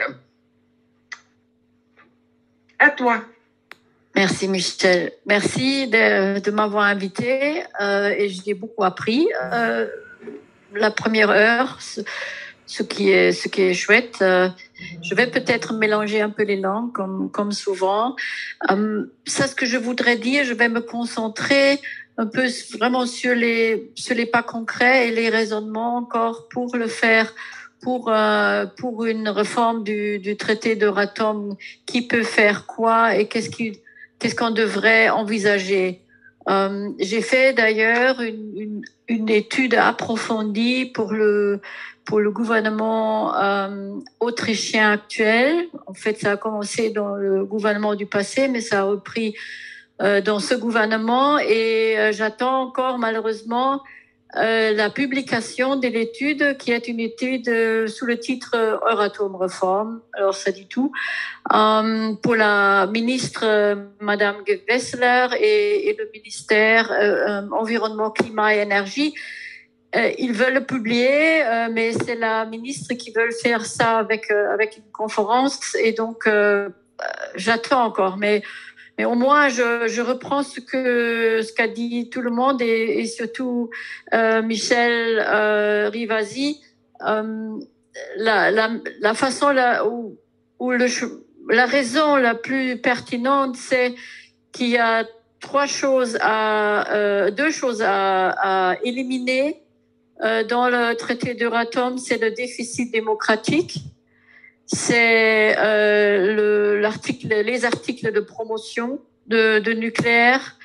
Et par contre, il faut inclure une meilleure responsabilité, euh, si, euh, responsabilité civique euh, pour les pour les dommages. Et là, il, il, y a beaucoup, beaucoup, beaucoup encore à faire. Et si on arriverait à avoir une excellente, un excellent chapitre euh, de responsabilité, ça peut, ça peut même aider euh, tout le monde euh, en, vrai terme. Il y avait, il faut aussi dire que il y avait la communication, ça a été élucidé de la Commission européenne, Communication on the Future of EU Energy and Climate Policy, including on the future of the Euratom Treaty. C'est de l'année 2018. Et après, il y avait cette information de la commission de l'avril 2019. Et là-dedans, on trouve euh, des aspects de regarder le traité Euratom. Donc, le Parlement européen, euh, le groupe du Vert, devrait relire euh, cette communication, mais c'est au moins quelque chose euh, qui est euh, qui est là et sur quoi on, on, on pourrait se se baser. Um, il y avait euh, quelqu'un a dit que euh, toute les, la responsabilité euh, des déchets, etc., c'est dû à l'Euratom et on peut pas faire un autre chemin comme, comme par exemple en, en France, les gens croient plutôt en, en une autre technologie que, euh, que mettre en, en, stockage final sous terre. Je veux pas euh, parler euh, dans ça parce qu'il y a des États membres, des sociétés des États membres qui se sont mis d'accord, comme en Allemagne, mais il y a aussi encore de, des discussions. Bref, ce que je veux seulement dire est que l'Euratom ne prévoit aucun mot sur les déchets. C'est pas vrai. La Commission euh, euh, avait, euh, a quand même développé pas mal euh, des directives qui sont euh, des bonnes directives pertinentes euh, pour la sécurité euh, de traitement des déchets et de, beaucoup de choses autour des déchets. Mais la base juridique a été toujours un article 30 de Euratom qui est la santé des, euh, des, ouvriers, etc. Donc l'Euratom est, est complètement muet sur les déchets. Il faut pas oublier ça. Alors il, fallait déjà des des biggies pour, euh, pour, pour, trouver un chemin pour qu'on puisse toujours mettre euh, la base juridique sur Euratom pour que le Parlement européen ne soit pas impliqué. Parce que le Parlement s'est battu plusieurs fois jusqu'à l'accord européen pour qu'on met la base juridique pour euh, des régulations dans, dans, dans des sujets de, d'environnement de, et, euh, et déchets sur les articles d'environnement dans notre traité. Donc, ça, c'est une chose.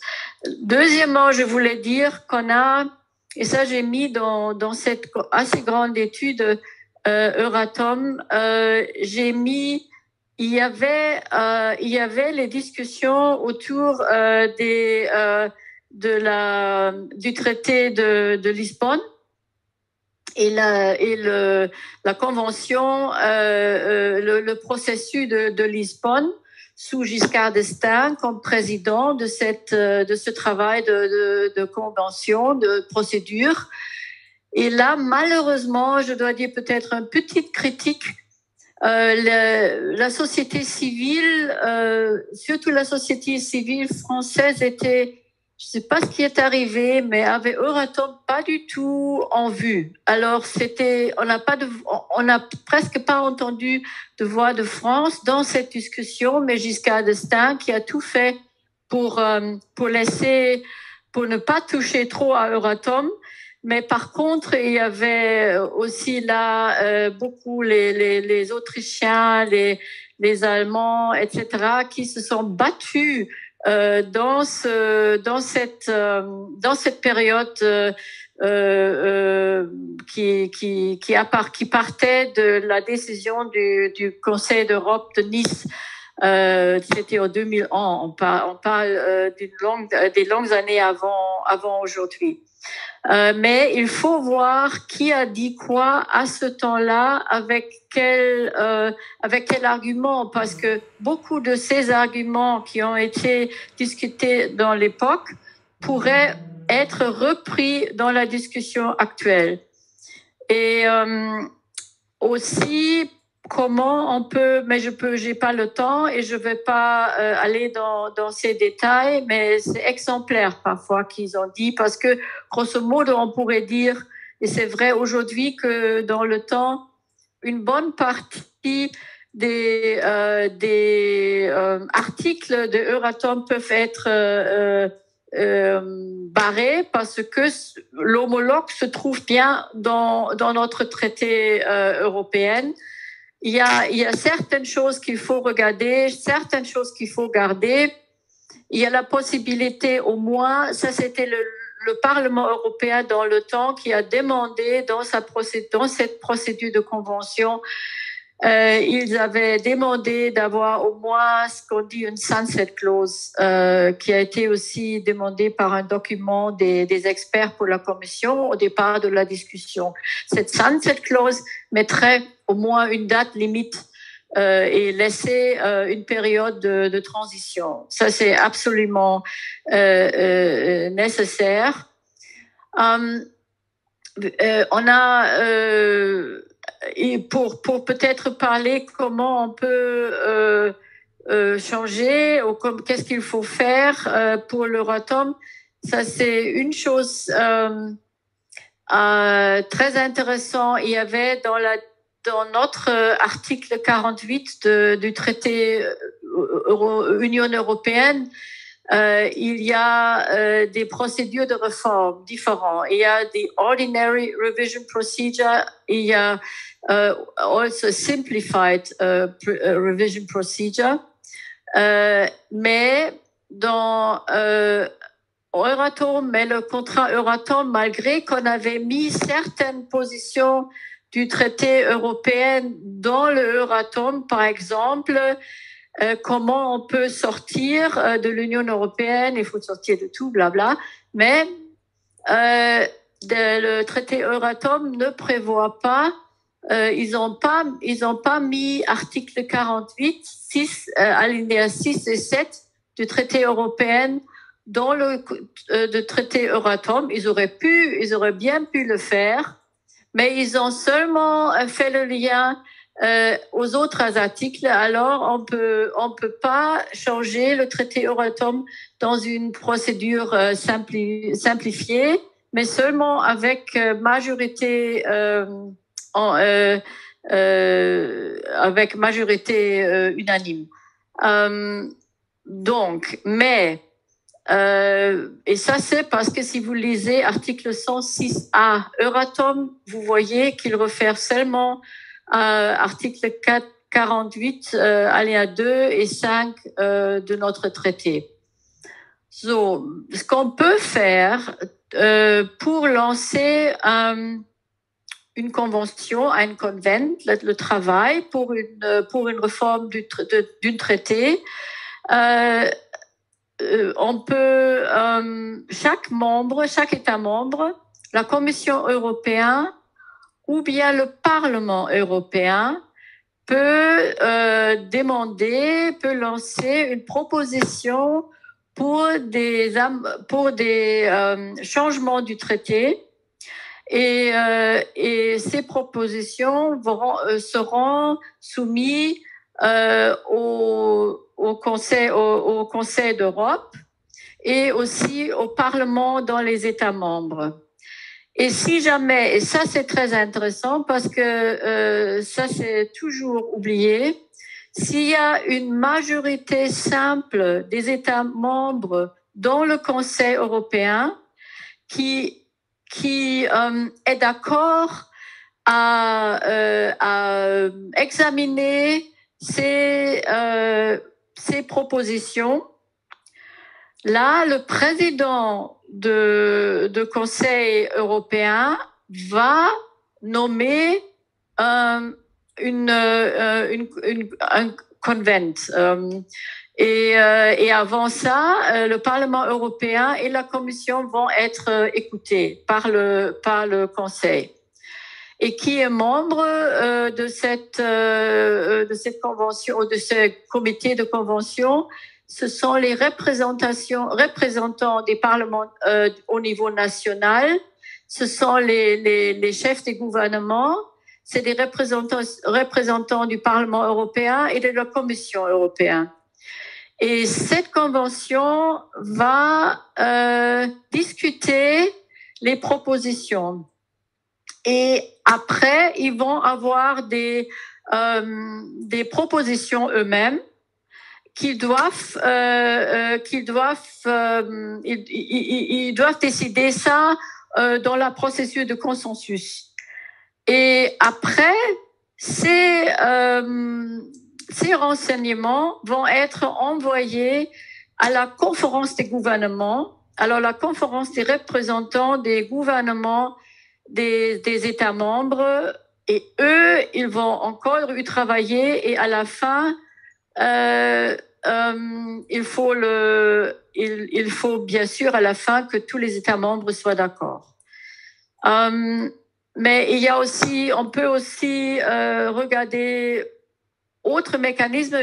J'ai voulu seulement maintenant donner la, la procédure euh, classique. Et on avait entendu tout à l'heure, euh, je pense c'était c'était c'était toi Nils hum, il, euh, il y a maintenant une majorité des États membres, après la sortie de, de Grande-Bretagne, qui, qui ne sont pas pro-nucléaire. Je sais que la Pologne joue toujours avec les deux chapeaux, mais la Pologne a fait ça depuis au moins 15 ans, je dirais. Euh, Ils ont toujours quelque part un plan pour un projet nucléaire euh, dans le tiroir et ils le sortent. Je pense que c'est aussi un jeu pour avoir euh, des votes euh, de la France dans, pour leur politique polonaise. Je, je ne sais pas. Alors moi, je suis prud- un peu positif qu'on pourrait au moins avoir une, euh, une majorité, majorité simple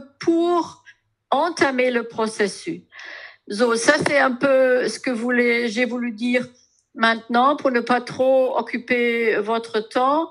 Une chose qui, qui a vraiment euh, peut-être changé beaucoup aussi dans l'industrie énergie, en, Europe, c'était les décisions de la Cour, euh, de la Cour euh, européenne, euh, euh, la Cour générale et la Cour européenne sous Hinkley Point. Je pense que c'était ça, ça fait très clair qu'il faut réformer Euratom parce que la Cour générale avait créé un marché, ou recréé si vous voulez, un marché nu énergie nucléaire séparé du, du marché intérieur d'énergie. Alors, ce qu'ils ont fait là, c'était le retour à 57 en oubliant le chemin depuis 85 vers un marché euh, d'énergie intérieure euh, en, en, Europe. Euh, et, et, ces deux décisions, la, la, la Cour générale avait même euh, le était même euh, si provocateur en disant que euh, même les, les, les articles sur l'environnement de notre traité européen ne s'appliquent pas dans le domaine de Euratom, parce que Euratom a tout réglé en soi. Ça, par contre, la, Cour européenne a dit non, non, non, non, non, ça s'applique quand même, mais, mais ça, montre comme, comment lourd pèse Euratom euh, sur, yeah, sur, notre, sur notre vie juridique et sur notre vie euh, euh, citoyenne. Peut-être là, je, je, je termine. Peut-être les collègues euh, autrichiennes pourraient faire une pression polie pour que l'étude pourrait être euh, publiée. Merci. Merci. Dorté, euh, j'avoue que c'est pas simple parce que euh, je me dis on a deux alternatives soit on réforme le traité Euratom en faisant en sorte à ce que ça soit beaucoup plus démocratique et que euh, il y a certains critères que tu as énoncés qu'on pourrait changer ou soit carrément on dit énergie qu'elle soit nucléaire fossile etc ça rentre dans le traité de l'Union européenne. Il n'y a pas de raison que le nucléaire ait un statut à part. Non, et tu as moi, raison. je pense que, euh, Mais... si tu veux, c'est c'est inadmissible que le, le traité Euratom est spécifique sur le nucléaire. Pourquoi il le serait? Pourquoi? Yeah. Donc, moi, je, je me bagarre sur les valeurs de l'Union européenne, sur la démocratie, sur qu'il n'y ait pas de conflit d'intérêts, que les choses soient discutées avec tu vois, des comités d'experts qui proposent des choses et en plus le Parlement soit associé, à mon avis, euh, il faut se bagarrer pour qu'il intègre le traité de l'Union européenne. Oui, Parce que mais... si on fait une réforme, enfin, je suis désolée là, j'attaque un peu la discussion, mais si non, on non, fait non. une réforme, ça veut dire qu'on accepte ce statut particulier du nucléaire. Et ça, oui. pour moi, c'est si je peux, Alors, mais... si, je, oui, si je peux dire là une chose, parce que c'est c'est très important ce que Michel dit. Il y a, il y a deux arguments pour moi. Euh, une, c'est le pragmatisme. La plupart, et j'ai pas le temps maintenant, mais, mais franchement, disons, du, euh, de Euratom, tu peux mettre à la poubelle euh, la moitié des articles. Je, je, j'ai fait ça dans cette étude, mais tu verras, euh, la moitié il y a des choses où il faut un peu de temps de transition dans le, dans, dans le traité général. Alors pour ça, on a une, on, on va juste mettre aussi pour la question avoir des, euh, des majorités, tu mets une une, euh, une clause de euh, deadline, alors de, de sunset clause.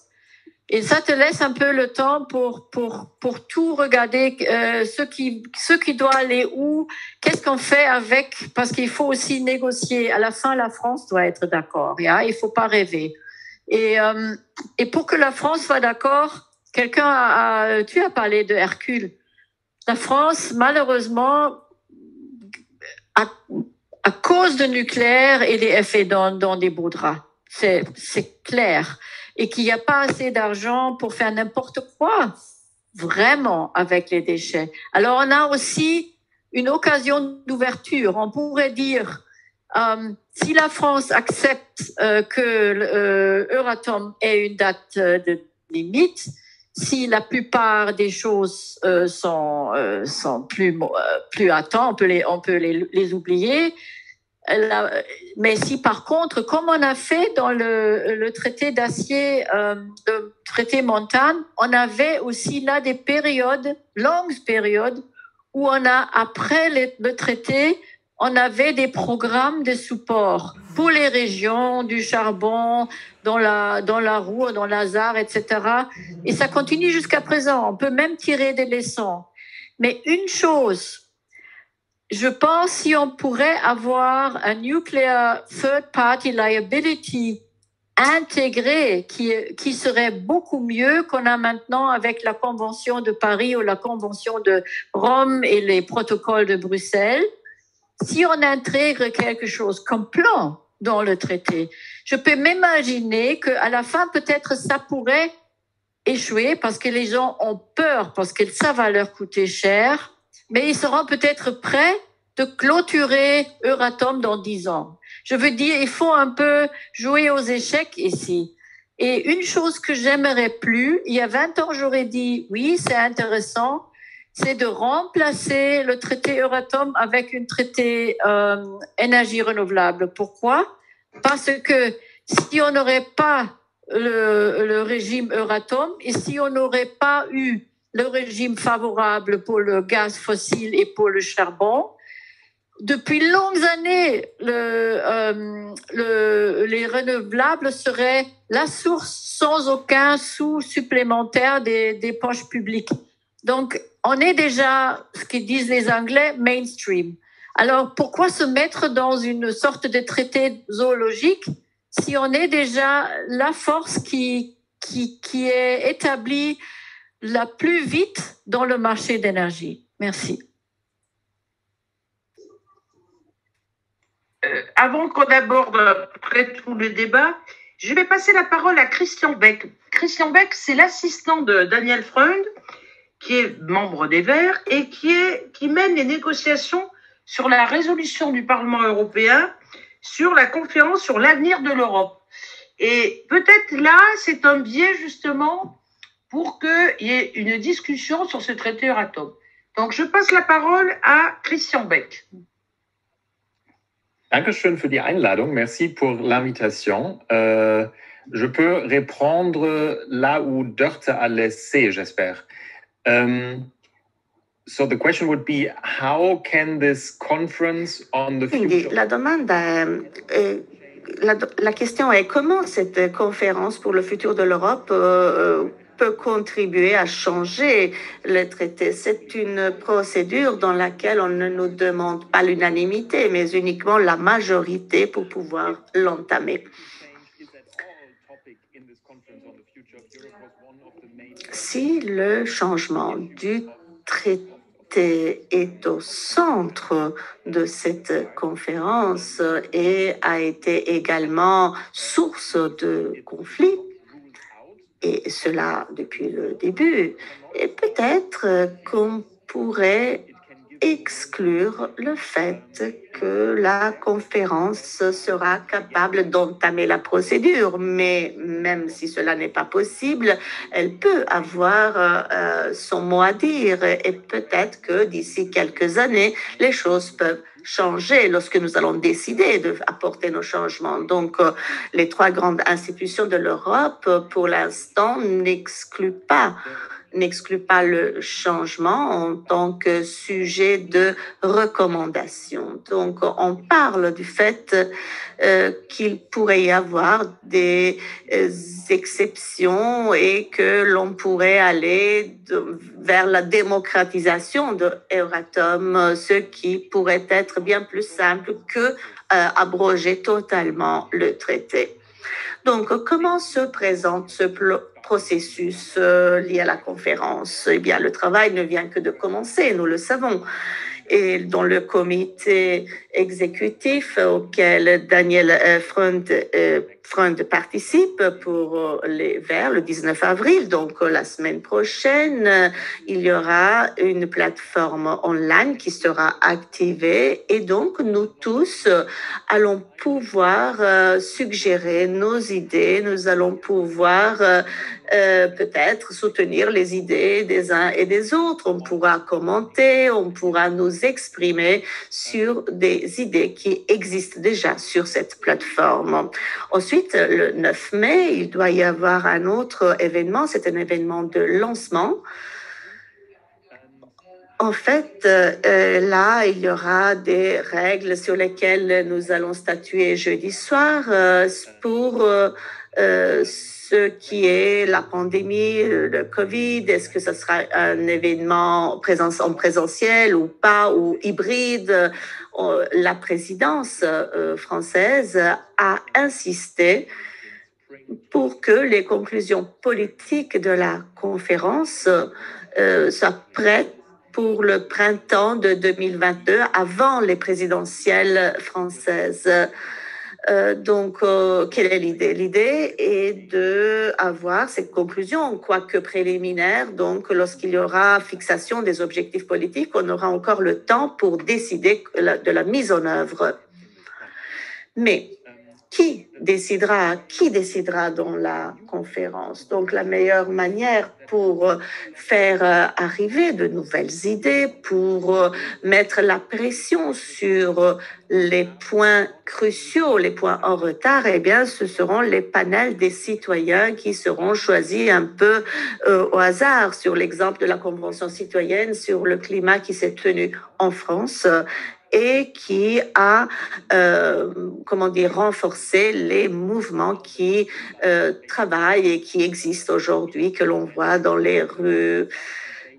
Donc, euh, les normes seront fixées la semaine prochaine et nous allons commencer à partir de cela à des rencontres à, partir du mois de septembre. Donc, il faudrait travailler avec tout ce qui va ressortir de cette plateforme qui sera lancée donc sous peu et pour toutes les ONG et pour nous tous des Verts, eh bien, cela pourra être une grande aide. On pourra vraiment bénéficier du support de ces commentaires, de ces suggestions pour la réforme et donc euh, ces objectifs pourront passer à travers les panels des citoyens en tant que sujet prioritaire. En fait, euh, à partir de là, on pourra se rencontrer, se discuter comme on a fait déjà en France, et puis il y aura une plénière de conférences. Donc, euh, les institutions, l'article 48, euh, pour être clair, vous savez qu'il y a la possibilité de changer les traités. Donc, les membres, les, les parlementaires, les parlementaires nationaux également qui peuvent ratifier les modifications, les représentants des gouvernements et les représentants de la Commission. Et puis, il y aura également des représentants des partenaires sociaux, des ONG, et, etc., le comité des régions, par exemple, et le sous-comité économique et social. Donc tous ces gens seront présents. C'est à eux de prendre ces suggestions, ces recommandations et les traduire en conclusions politiques. Et ils nous diront de quelle manière changer euh, les choses dans le futur. Donc, on a besoin de cette poussée, de cet élan pour pouvoir lancer effectivement ce processus de changement. Il ne s'agit pas de changer uniquement les traités classiques de l'Europe, mais Euratom aussi. Donc, pour avoir euh, cet élan, euh, le, dans la conférence plénière. Euh, et c'est vrai que cela n'arrive pas souvent. Donc il y aura tout ce travail informel qui doit avoir lieu autour les familles politiques euh, qui euh, réunissent les différents représentants au Parlement européen et dans les parlements nationaux. Eh bien, tout cela vont travailler et seront, comment dire, poussés par la volonté populaire à entreprendre toute une série d'actions. Donc, c'est une pression importante qui va s'exercer donc, ils pourront ainsi agir euh, sur l'énergie, sur la planète. Donc, euh, quelque chose dans ce processus est encore en négociation. Vous savez, au cours de ces dernières semaines, euh, les négociations ont continué. J'espère et je souhaite que pour jeudi prochain, je vais pouvoir vous poster le lien pour vous montrer l'état d'avancement de notre travail. Et donc, vous allez pouvoir accéder au contenu. J'espère que cela a contribué à vous faire mieux connaître tout ce processus. Merci. Merci pour l'attention. Merci Christian. Euh, au moins, tu nous offres une possibilité euh, d'intervenir et de faire pression pour que euh, ce traité Euratom rentre un peu dans le l'agenda en fait de l'avenir de l'Europe. On a peu de temps. Euh, je prendrai deux questions. Je vois que Julia, tu as levé la main. Euh, je te donne la parole. Vas-y, Julia. Yeah. Okay, thank you. Um, just to um, make something straight. Oui, merci. Alors, euh, pour euh, être clair et, et, pour que ça soit. Oh, sorry, I may have turned the yeah, translations. Okay, so Voilà. Alors, euh, il a été question justement de la réforme du traité Euratom, mais je pense pouvoir parler au nom de toutes les ONG qui participent à ce débat. Nous demandons une fin sans compromis du traité Euratom. Je suis tout à fait d'accord avec toi, Michel. Nous euh, craignons de euh, voir ce que nous avons déjà vu euh, de la part de la Commission qui a adopté enfin, sa communication en 2019 en disant que les procédures ordinaires législatives, législatives doivent s'étendre à Euratom. Et nous craignons justement qu'ils essayent de donner une euh, image démocratique euh, de Euratom, alors qu'en fait, euh, ceci ne, ne, ne, peut en aucun cas marcher, fonctionner. Nous demandons l'arrêt du traité, donc, et puis et, et la, la, la, dissolution du traité, et donc, donc d'abord l'interruption et la dissolution, dissolution du traité avec toutes les mesures euh, correspondantes qui pourraient être transférées aux autres traités de l'Union européenne. En tout cas, bon, bah, au départ, il s'agissait donc d'un retrait de la part de chaque État membre. Bien sûr, nous travaillons euh, actuellement de concert avec un expert en droit international euh, pour qu'on puisse euh, passer justement euh, du traité euh, Euratom à un traité sur les euh, renouvelables. Nous avons déjà un texte, un texte, un projet de texte juridique que je veux partager avec tous ceux qui le souhaitent. Troisième considération, la réforme du traité Euratom. Alors ça, c'est un point que je tiens à, à, préciser. Alors, déjà, on a déjà parlé de pragmatisme. Donc, ça veut dire simplement ajouter, apporter un voile de démocratie un, un, un, un, contrat qui privilégie un secteur à haut risque. C'est, l'énergie atomique est un produit de niche, c'est un marché de niche sur le plan du marché international. Et, il n'y a aucune justification au XXIe siècle euh, pour euh, maintenir ce privilège, euh, un, produit, un produit de niche aussi dangereux, y compris et en termes de droit primaire de l'Union européenne. Il faut comprendre que le traité Euratom et le droit à primaire, enfin, il a été signé en 1957, donc, et, ce traité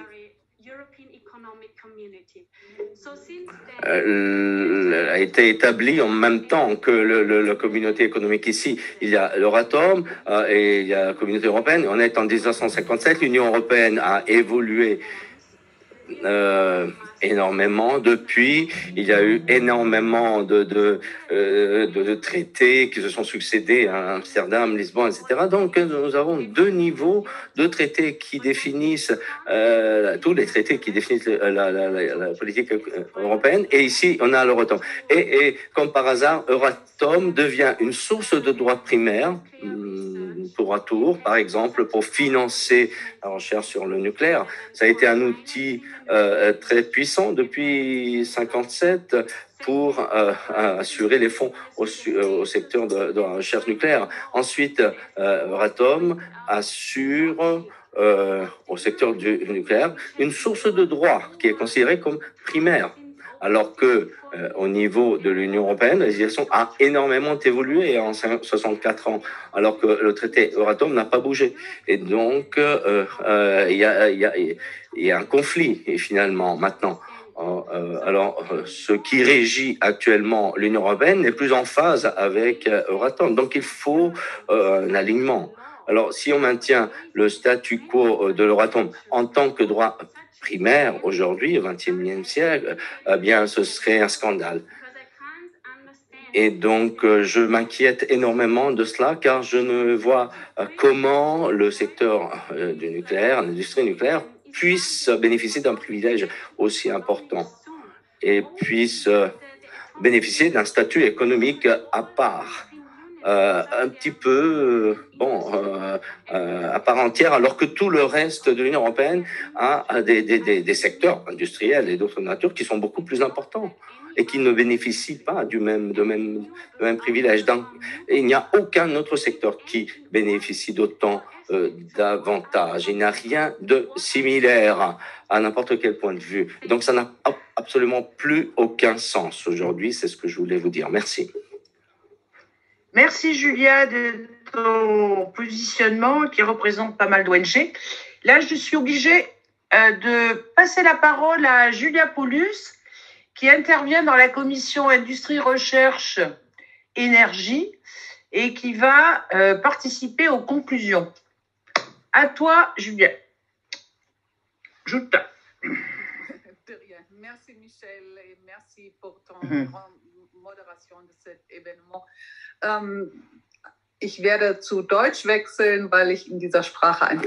Je vais donc passer à l'allemand.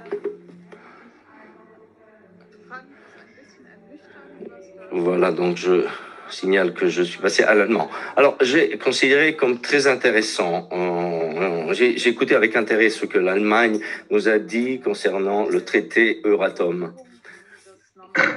Je pensais qu'on aurait la possibilité de euh, tirer parti des procédures habituelles. Et que donc il serait possible de, de transformer le traité Euratom en quelque chose qui nous euh, permette d'améliorer les aspects sécurité, etc. Et, et qui nous permettent également de mieux euh, comprendre comment on doit être euh, constitué et créer un, un dépôt de, de, de déchets radioactifs. Eh bien, toutes les ONG et qui sont présentes ici et ailleurs sont d'accord pour dire que l'énergie nucléaire, euh, tout compte fait, euh, euh, fait mieux que les dinosaures, les dinosaures ayant disparu. Mais si on prend euh, toutes les déchets, radioactifs enterrés, eh bien, au final, on, on, on, on ne s'en séparera plus jamais. Michel euh, a certainement enfin, sera certainement d'accord avec moi, et Thomas et Léonard aussi,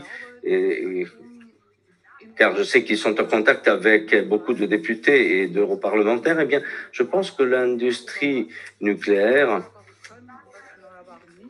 repose euh, sur trop de mythes, enfin bénéficie de trop de mythes euh, en tant qu'énergie renouvelable.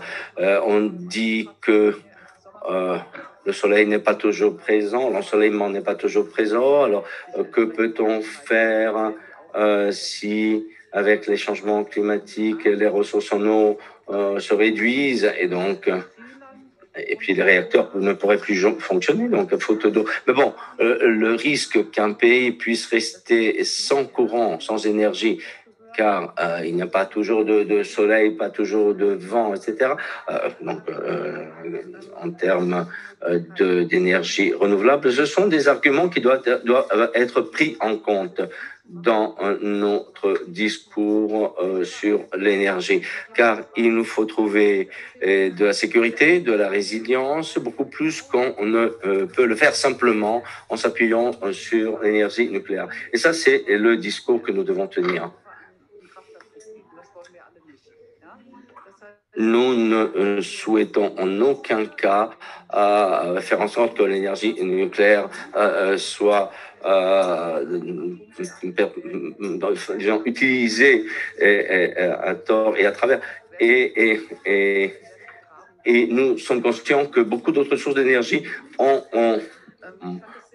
beaucoup plus de possibilités et de fournir et, et quitter énergie. Dans l'audition euh, de la Commission sur l'industrie, le professeur Mark Jacobson de la Stanford University nous a présenté son étude. Bon, c'est vrai qu'il a présenté très rapidement, mais il nous, a dit que euh, la fourniture d'énergie renouvelable propre et ceci exclu par euh, définition les biomasses est possible d'ici 2040 et ceci permettrait également de gagner et d'économiser de l'argent. Je pense que ce sont là les arguments qu'il faut utiliser pour éliminer et une fois pour toutes euh, cette position sur les énergies en faveur des énergies nucléaires. Merci, merci Yuta. Je vais passer la parole maintenant à Eleonore Evi, qui représente euh, l'Italie et qui est bien sûr au groupe Vert, qui a rejoint le groupe Vert d'ailleurs, qui était au mouvement 5 étoiles. À toi, Eleonore.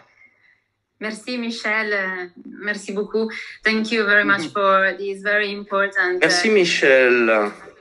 Merci. J'ai écouté une partie euh, de cette réunion seulement car j'ai participé à, un autre, co- à une autre commission tout à l'heure.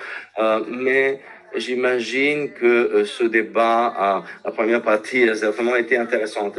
L'avenir du système et, euh, européen est un des grands sujets et dont euh, on débat aujourd'hui dans le cadre de la conférence sur l'avenir de l'Europe. Mais il nous faut continuer à, à- disons, animer, à entretenir le débat.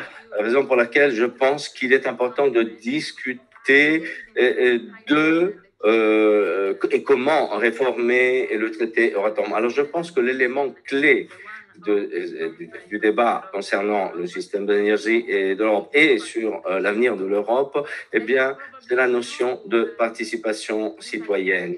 Comme vous le savez, l'Italie a, une expérience qui a démarré dans les années 50, 60 dans l'énergie nucléaire. Ça a été caractérisé par deux référendums euh, cruciaux en 86 en particulier, lorsque 80% des euh, euh, ressortissants votants ont, rejeté et la, la, création de- des centrales nucléaires. Et puis en 2011, en 2011, lorsque le gouvernement à l'époque a relancé l'idée d'un rêve nucléaire contre ce qu'avaient décidé les électeurs, eh bien, un Italien sur deux, donc euh, disons 50% des électeurs ont demandé euh, l'arrêt total des projets nucléaires, nucléaires une fois pour toutes euh, en Italie. Bien entendu, l'Italie n'est pas tout à fait, ne s'est pas tout à fait euh, libérée du nucléaire. Mis à part bien sûr euh, la recherche dans le secteur médical, et nous avons encore euh, les conséquences euh, du passé liées au traitement des déchets. Nous faisons partie d'ITER et tout récemment, et ça c'est très, très négatif, le nouveau ministère de la Transition écologique a exprimé un espoir, à savoir euh, de euh, soutenir l'énergie atomique en plus des énergies renouvelables. Et ça c'est inacceptable, c'est une folie absolue. Euh, nos voisins, la France, est en train d'adopter des décisions qui finiront par avoir un impact sur l'Italie, euh, qui parfois euh, euh, enfin, on n'a pas au chapitre à cause de ces positions euh, strictes. Donc l'expérience italienne démontre combien il est important d'échanger lorsqu'il est question de l'avenir de l'énergie, et notamment de l'énergie nucléaire. Et ça, c'est quelque chose qui devrait être promu euh, à l'échelle européenne. La Belgique, actuellement, œuvre pour euh, euh, donc promouvoir deux centrales nucléaires et la participation des citoyens est très importante. L'avenir de l'Europe a besoin euh, du soutien des citoyens pour introduire des changements durables. Le Parlement joue un rôle important. Donc, c'est une question de confiance qui est à la base de tout. Les citoyens doivent faire confiance à l'Union européenne et l'Union européenne, vice-versa, doit faire confiance à ses ressortissants. Merci. Merci, Éléonore.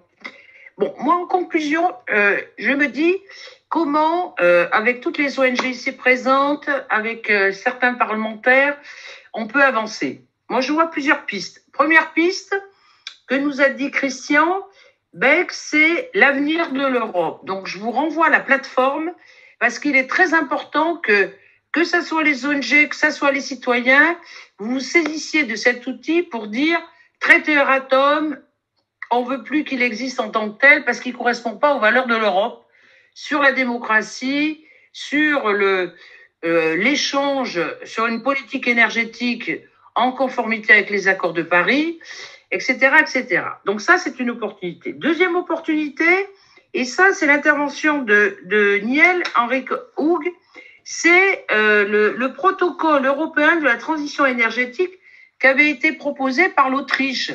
Il faudrait regarder ça de près pour pouvoir le proposer aux différents États membres, puisque euh, quand ça avait été proposé, je ne sais plus dans quelle année c'était, euh, en 2016, euh, c'est important de le reprendre pour dire qu'il y a des États et il faudrait bouger les États qui n'ont pas choisi le nucléaire pour que ils fassent pression aussi au niveau des États membres. Et puis, il y a le côté citoyen. Euh, regardez, moi je, prends l'exemple de la France, mais il y a de plus en plus de grosses villes qui ont été gagnées par les Verts. Je pense à Lyon, je pense à Bordeaux, je pense à Poitiers, etc., Marseille. Il faut absolument que on développe ces énergies renouvelables, parce que si on les développe pas, moi je vois bien le lobby nucléaire comment il agit. Il dit mais on n'est pas prêt, donc il faut continuer à euh, soit euh, faire le renouvellement des vieilles centrales nucléaires, faire le carénage, c'est-à-dire la mise aux normes des centrales, etc. Et ça coûte des milliards d'euros. Donc, euh, on ne réussira pas si on n'arrive pas d'une part à informer la population et à faire pression au niveau à la fois du local, à la fois du national et à la fois au niveau de l'européen. Et c'est avec tout ça qu'on arrivera peut-être, et j'espère qu'on sortira vainqueur de ce débat, parce qu'on sent bien que le nucléaire, il est mortifère il n'est pas lié à la vie. Il est lié, et on l'a vu sur les catastrophes, euh, que ça soit Fukushima, Tchernobyl ou autre, euh, c'est pas quelque chose de durable et c'est pas quelque chose qui qu'on sait maîtriser à tous ces échelons. Euh, et donc, j'espère bien que euh, avec la mobilisation des parlementaires, à la fois nationaux, européens et des ONG, on arrivera à renverser cette exception le traité Euratom. En tout cas, merci à toutes et à tous, merci à tous les participants. Et puis, ben, écoutez, j'espère que le combat sera victorieux. En tout cas, on pourra le, le faire que si on est tous ensemble. Merci.